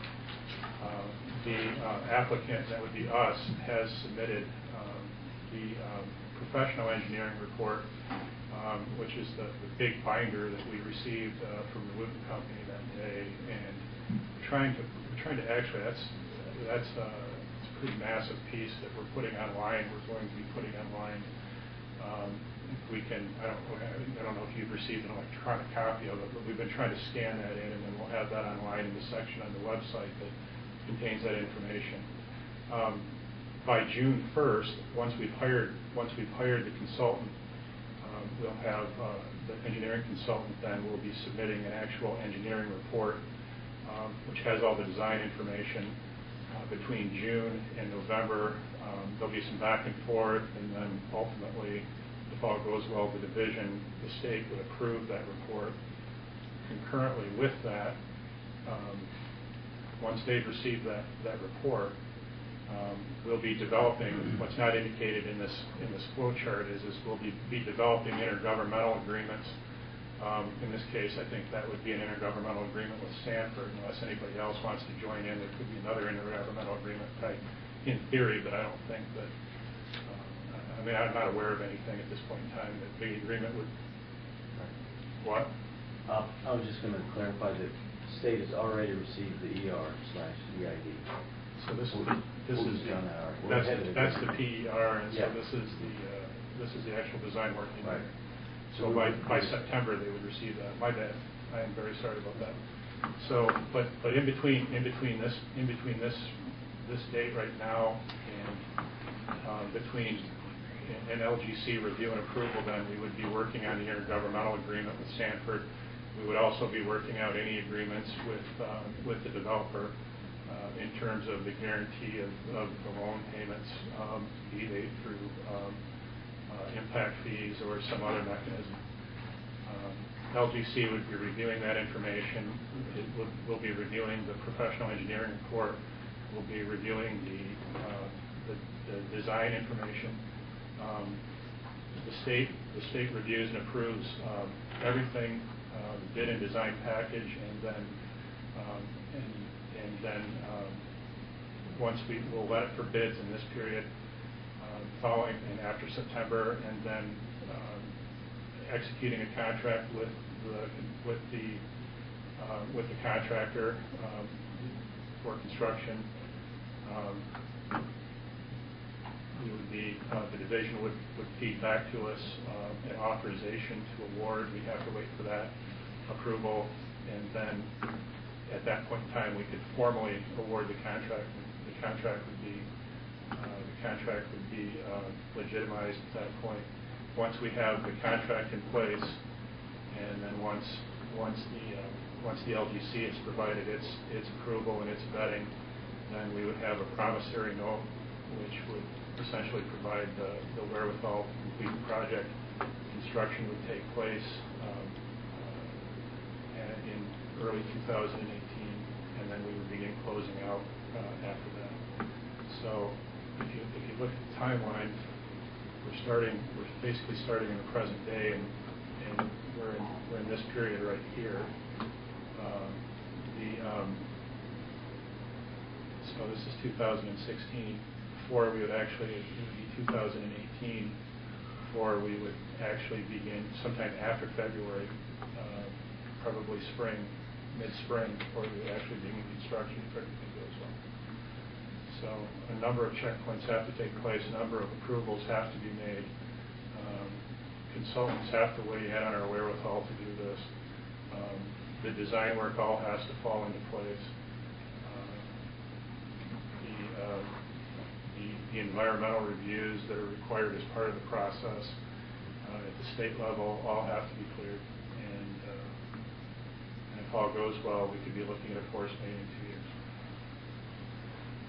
clear as, clear as mud at this point. It's, it's, we aren't going to be putting in a force main anytime this summer, if that was anybody's worry. I think, I think Commissioner Farrell one time asked me, he was on his way to Sanford one time, and he saw some digging in the right of way, and asked me if it had started already. I think, I think that was uh, Duke Energy or somebody was putting, nowhere near there. Any questions on that? We'll have, we'll have more information as this moves, moves forward. Um, The, the third, third-party consultation on finances. Oh, we've- Brian, I do have a Yes, question.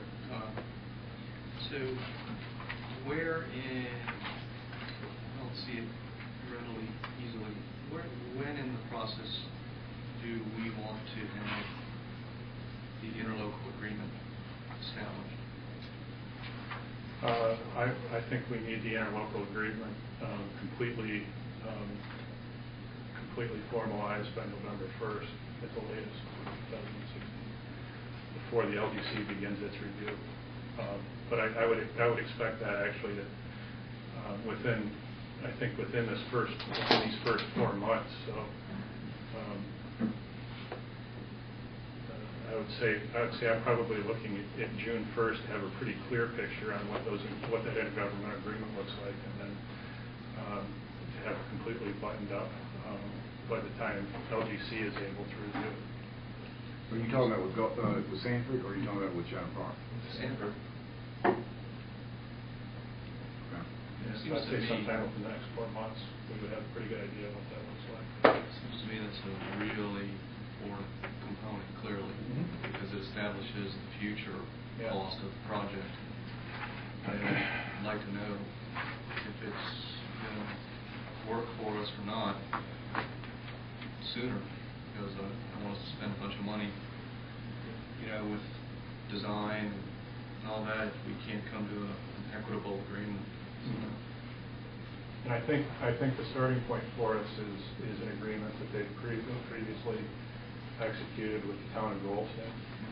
Um, Operationally, it would, I think an agreement with Sanford would look almost identical to that, with the exception of, uh, with the exception of some of, uh, some of the language in there as about, uh, about Sanford's need to um, vet um, certain commercial and industrial users. I mean, we, we have a pretreatment program, we have grit removal, we have things that we'll have in place, we have in place now and we'll have in place with an enhanced system that really won't require Sanford to do the extensive review, for example, that it does with Goldston.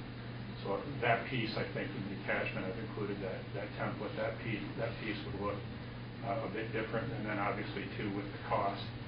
Um, The, um, you'll recall from the discussions that we had with the Wooten Company, um, late last summer, um, some of the discussions that we had with Sanford leading up to that had indicated that um, Sanford, um, the rate structure that they would be seeking um, would be, would be one piece, but also two, that they would be concerned about retiring the debt that they had incurred building their, their oversized facility.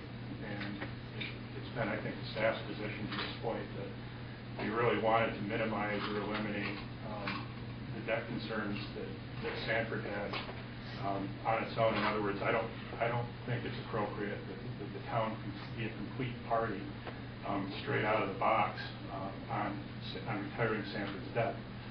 That said, I think it's fair um, that there be some consideration based on what we're able to use, but I don't think that it would be appropriate for the town um, to begin paying, um, begin paying for two MGDs worth of debt, worth of capacity reservation, for example, if we're using a fraction of that. So I would, I would be proposing that we, we seek to pay um, essentially for what we're using, both in terms of reservation and actually what we put through the system. Um, So initial conversations that we had with Sanford staff, they, they, uh, they sound agreeable to us. Um, So plugging in those numbers, I think, is going to be the next, the next, uh, the next part of this process, and we'll have help do that. I've received some contacts from, uh, from Sanford as far as FA's financial advisors that they've worked with. Mr. Messick has a financial advisor that that he's worked with.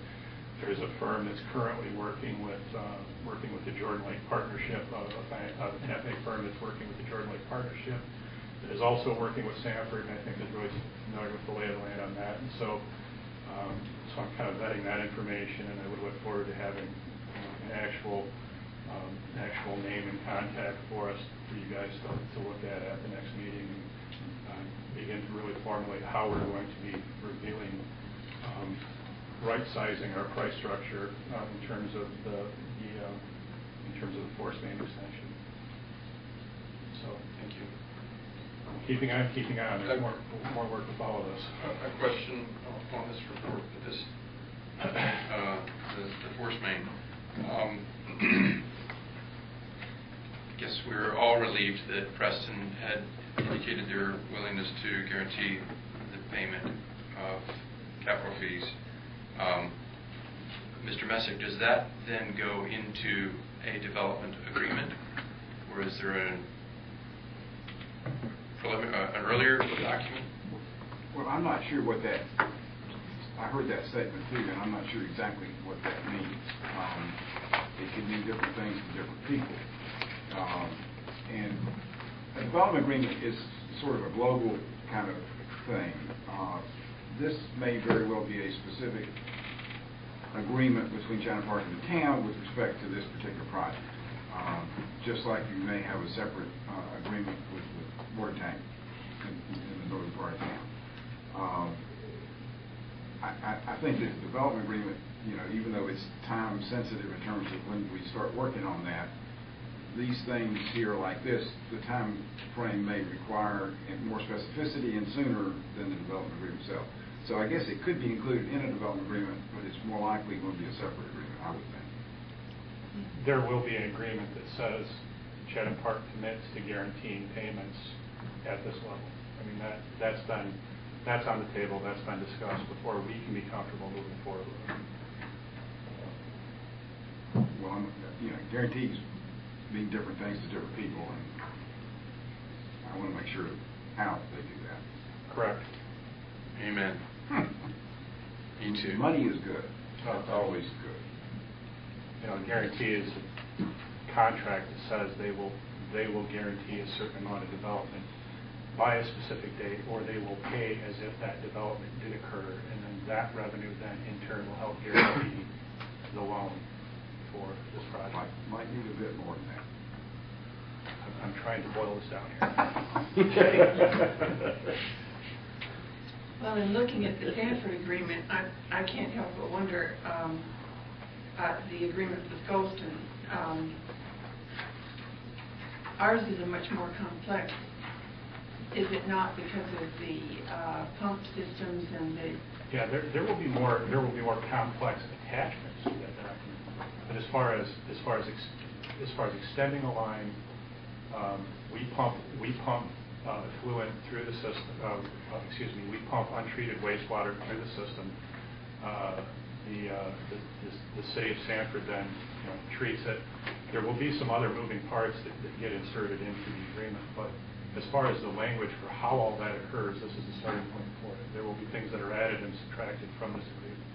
Goldston has a pump station that it pumps everything to Sanford. It's the same principle. It's gravity collected into the pump station and then forced on down the line. I, I think, I think we do have to, to that point though, in terms of complexity, we do have to resolve, um, we do have to resolve any questions of ownership, and we need to be sure that we are in fact owning this and not turn, I, I mean, there's, there's no other, there's no other authority, that, that we would be, um, there's no other authority that I'm aware of that has stepped forward, uh, in terms of owning the force main and all the pump stations that we would be turning it over to, but we have to resolve whether or not it would be the town owning it or some other entity.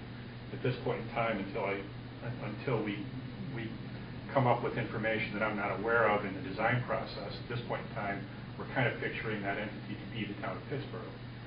Um, Whether or not that gets turned over to the town of Sanford or some other regional water- wastewater treatment authority, I mean, that's in theory, that's in theory possible, but that would have to be specified in, in the agreement as well.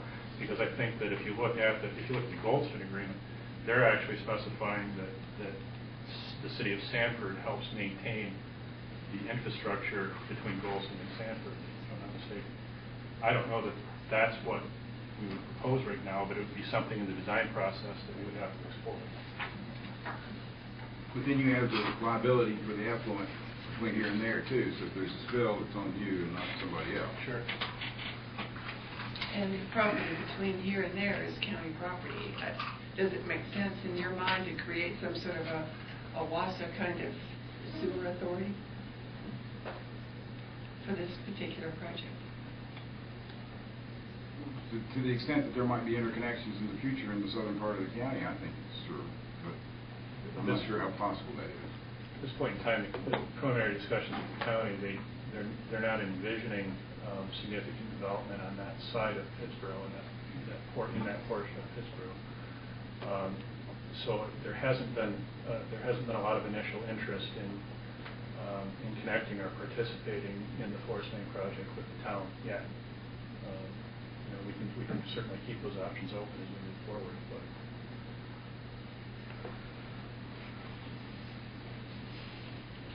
The county created uh, the the county created districts in the southern part of the county uh, to cover the cost of financing the water lines that come from Sanford up here. So, uh, but since you've got the financing pretty well taken care of from the town's end, I'm not sure that that's really necessary at this point.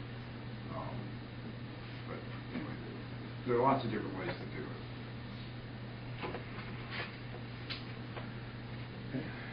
Any other questions on the Sanford Force Main? I mean, this isn't the last time we're going to be talking about this in the next, uh, the next few meetings. So If you think of anything, don't hesitate to stop by the office or email or come by or whatever. This is, this is something that we will, we will get through this together, I promise. Uh, Chatham Park Planning, Dis- uh, Plan Development District Master Plan, the additional elements is, uh, as you've, you've heard, I think, uh, at the joint meetings, um, we're expecting those now reportedly by the end of this month or early April.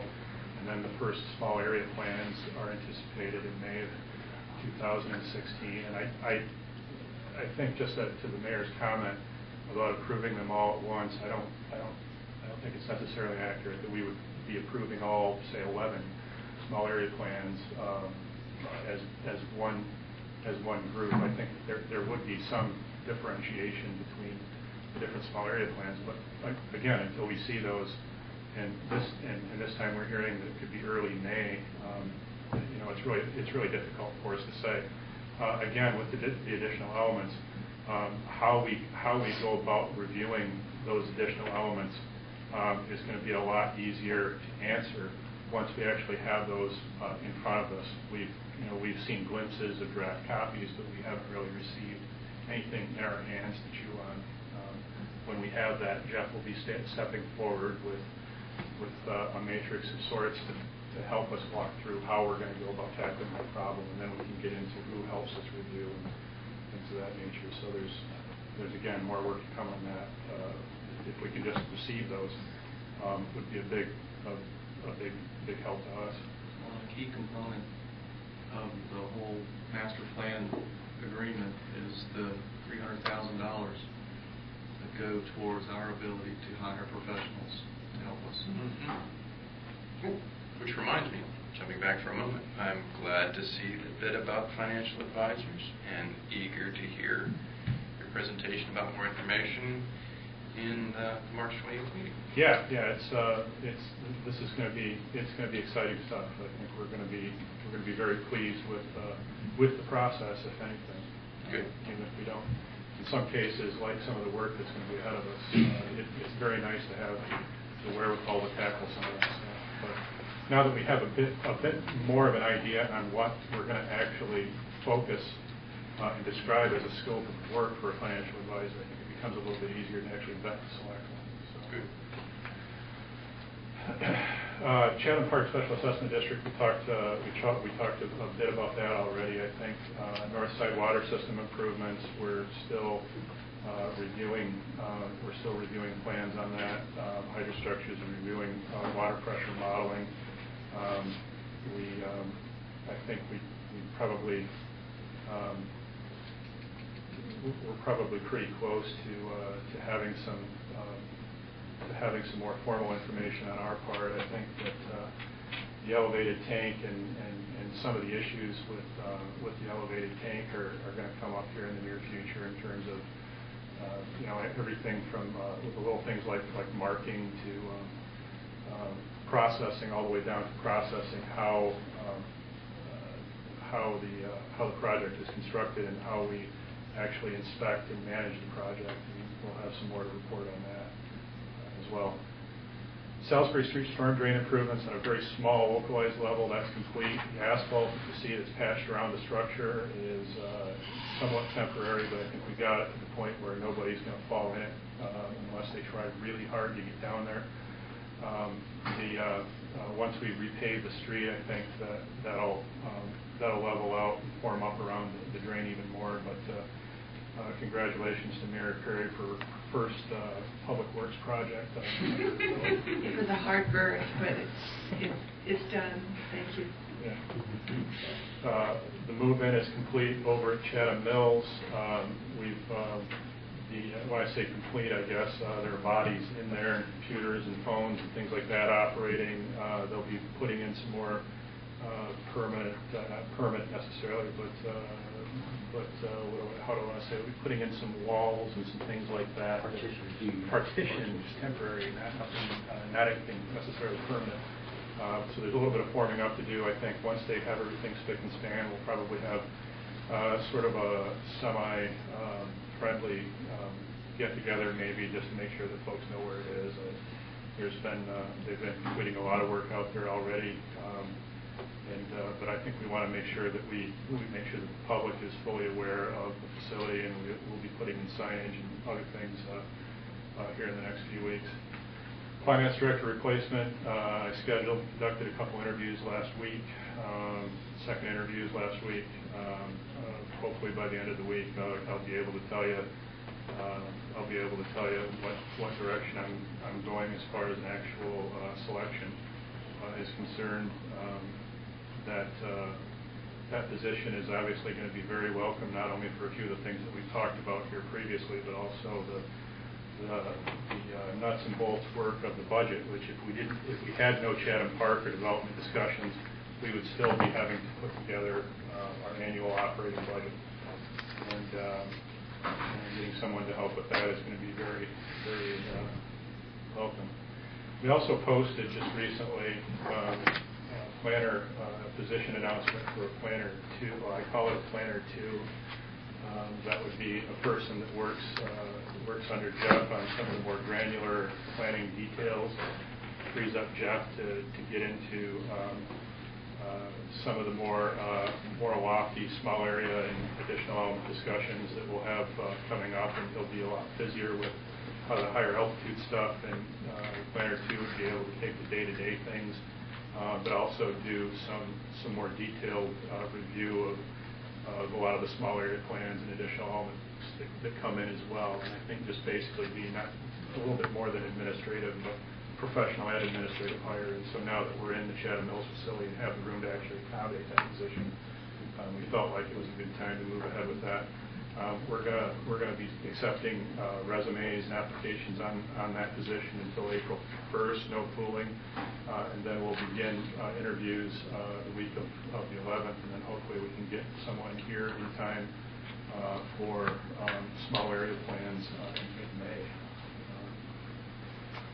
Uh, The budgeting process, uh, mentioned earlier, is is ongoing. Uh, They were due, uh, I believe everybody, uh, all the department heads uh, have turned in their their budgets. I was going through them earlier, I'll be scheduling some follow-up questions and meetings with department heads uh, on the submitted budget, um, going back and matching that up with the information that we had gathered during the retreat process and trying to to- uh, to best fit some of your some of your concerns that you raised earlier this year in the, in the, uh, in the, the, um, discussions, um, and then formulate that into a proposed budget um, that- that'll be submitted to you no later than May 9th. If I can get to, get it to you before that, I, in, uh, in draft copy, I will, although the, the, the copy that I give to you and the copy that we actually start discussing is invariably just a little bit different.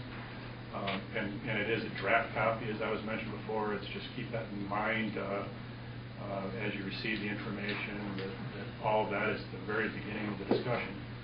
Um, The May 9th, uh, the May 9th, excuse me, the May 9th date allows for three more um, regularly scheduled board meetings, uh, May 23rd, June 13th, and June 27th. So at those three meetings, unless you schedule additional meetings or different meetings, um, those three meetings would, would help, at least a portion of those meetings would help serve as a budget discussion. I would propose that, given the number of meetings you guys have, that you try to reserve a- approximately an hour and a half to two hours possibly um, for budget discussion. We just clear out our schedule and do it that date. Alternatively, if you want to schedule additional meetings, um, it's been done before in June, depending on, depending on how our work goes. Uh, When I say our, I mean yours, depending on how your discussion goes. Um, You know, we may want to have more time to look at it. But at this point in time, I would, I'm going to propose that you stick to those three meetings, and we just carve out time during those meetings to discuss, discuss the proposed budget. Um, Keeping in mind that the, the budget has to actually be formally approved um, by the end of June, by the end of the fiscal year. So uh, that June 27th meeting is the last regularly scheduled board meeting that we have to get that done unless you set up a, you know, a different, a different time period sometime between June 27th and June 30th. So, and that's been done before. It hasn't been done by you guys, I know I've done it before, so. um, But I, as much as possible, I'd like to finish it by then, so. Um, All I have for now. You thought this was going to be a light agenda? Are there questions? I, I do have one question, that was last time we talked about doing workshops on particular complex issues in the context of regular meetings by adjusting them just a little bit. Um, Given the budget situation, should we wait for that until Well, June or? We had um, in a way, that special assessment district conversation we had tonight was more or less a workshop discussion. I kind of slipped that one by you. Um, So, um, and and you recall previously, we also, we also, uh, we were also contemplating um, an affordable housing uh, workshop, which if you want to schedule additional workshopping on, on the issue of affordable housing, that's something you'll have to decide, but, but obviously last week we held that. I don't, forgive me, I don't recall if there, were there any other conversations that we were gonna, we were gonna have in a workshop format. Um, I think, I think as some of this stuff comes up, um, I mean, we're gonna have more detailed, conversation on special assessment districts and, uh, enforcement issues, and, uh, you know, I think, I think with the budget, yeah, to answer your question, it's gonna be kind of challenging to fit that in. Um, So we may look at, we may look at, if staff feels that there's just gonna be something that's way too, way too heavy for you guys, and then we might propose something different, but, um, but at this time, at this point in time, you know, my, my suggestion would be to, again, uh, try to keep, try to keep the agenda as, as efficient as possible. And if we have to do a workshop, we'll, we'll cross that bridge when we come to it. I had sent out an email today that basically said that um, the committee system, although it can be unbearable at times, um, could be really helpful to us. And so let us be thinking the kinds of things that could be uh, put through uh, a committee that's, that's constituted with people from the community who have expertise in a particular area. I think they're ready, willing, and able to help us, want to help us. I've spoken to a couple of people so far um, that uh, that would really like to have some in, uh, public input. And I think that's one thing that we've talked about a number of times in in uh, as something that we've wanted to broaden uh, for the purposes of um, of uh, community input and uh, and the viability of of how we make decisions. So, um, are there any more questions for Brian Gruesbeck? We do have, uh, in our memo uh, attachment, we have a wonderful memo from Fred Royal about water availability. And um, I would like to issue a challenge right now to the- fact that on the front page of this, it says the town currently uses over 100 gallons per day per capita. But the locally acceptable range is between 60 and 70.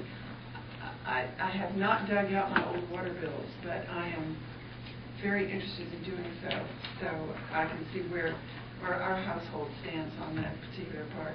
Is there anything you want to say about the memo? Uh, Fred, I know that you basically supplied it for our information. It was a preamble for the 28th when we give a PowerPoint presentation on proposed policies, ordinance language, etc. So, um, but yeah, the 100 is a, it's a, it's a, it's a gross number, if you will, based on how much water Adam delivers to the town versus how much we use, or is, or is, or is taken away, or used. It includes non-revenue water. The I and I? Well, no, the non-revenue water meaning um, potable water that disappears in the system. Gone. Yeah. And so, um, part of that 100 is non-revenue water. So, um, it doesn't literally mean you and I and everyone else in this room use 100 gallons a day on average. It just means that's the total town average, um, based on, per- based on population versus amount of water we create every day. So, the- I guess the point is we want to reduce that in different ways. There's lots of ways to reduce that. Okay. So that was a very interesting attachment, so thank you. Mm-hmm. Fred, I have just one question on that. When we flush hydrants, do we, do we meter that raw water? We do. Okay, So it's accounted for in the pie. gotcha. It didn't used to be. No, I didn't, I didn't think so. I just seen several. Um, That's good. So some infrastructure improvements like that will help us wrap our brain around where all the water is going and how it's being managed. Fred, is the calculation simply how much water is produced daily divided by the number of residents? Yeah. So it's a gross number. Um, You know, Adam's number is subject to question because he uses what's called Venturi meters. They're not as accurate as some other meters that he's discussed and possibly in the budget to add to the system so he can more accurate readings of what's flowing out of the plant into town. Those are called mag meters if you're curious. We're at uh, the point in our agenda to receive commissioner concerns. Jay Farrell, do you have anything? No, I do not, not at this time, thank you. Nope. Way. And the amazing, Here we go. and the amazing thing is that it's only seven thirty. I know, exactly. I'm exhausted all that concern. This could be the quickest meeting ever. Quickest meeting. I fell asleep. We have a motion to adjourn Yes. Move. and seconded. Second. Thank you. Let's all stand. Sorry, gotta get out of here. Oh, I appreciate that.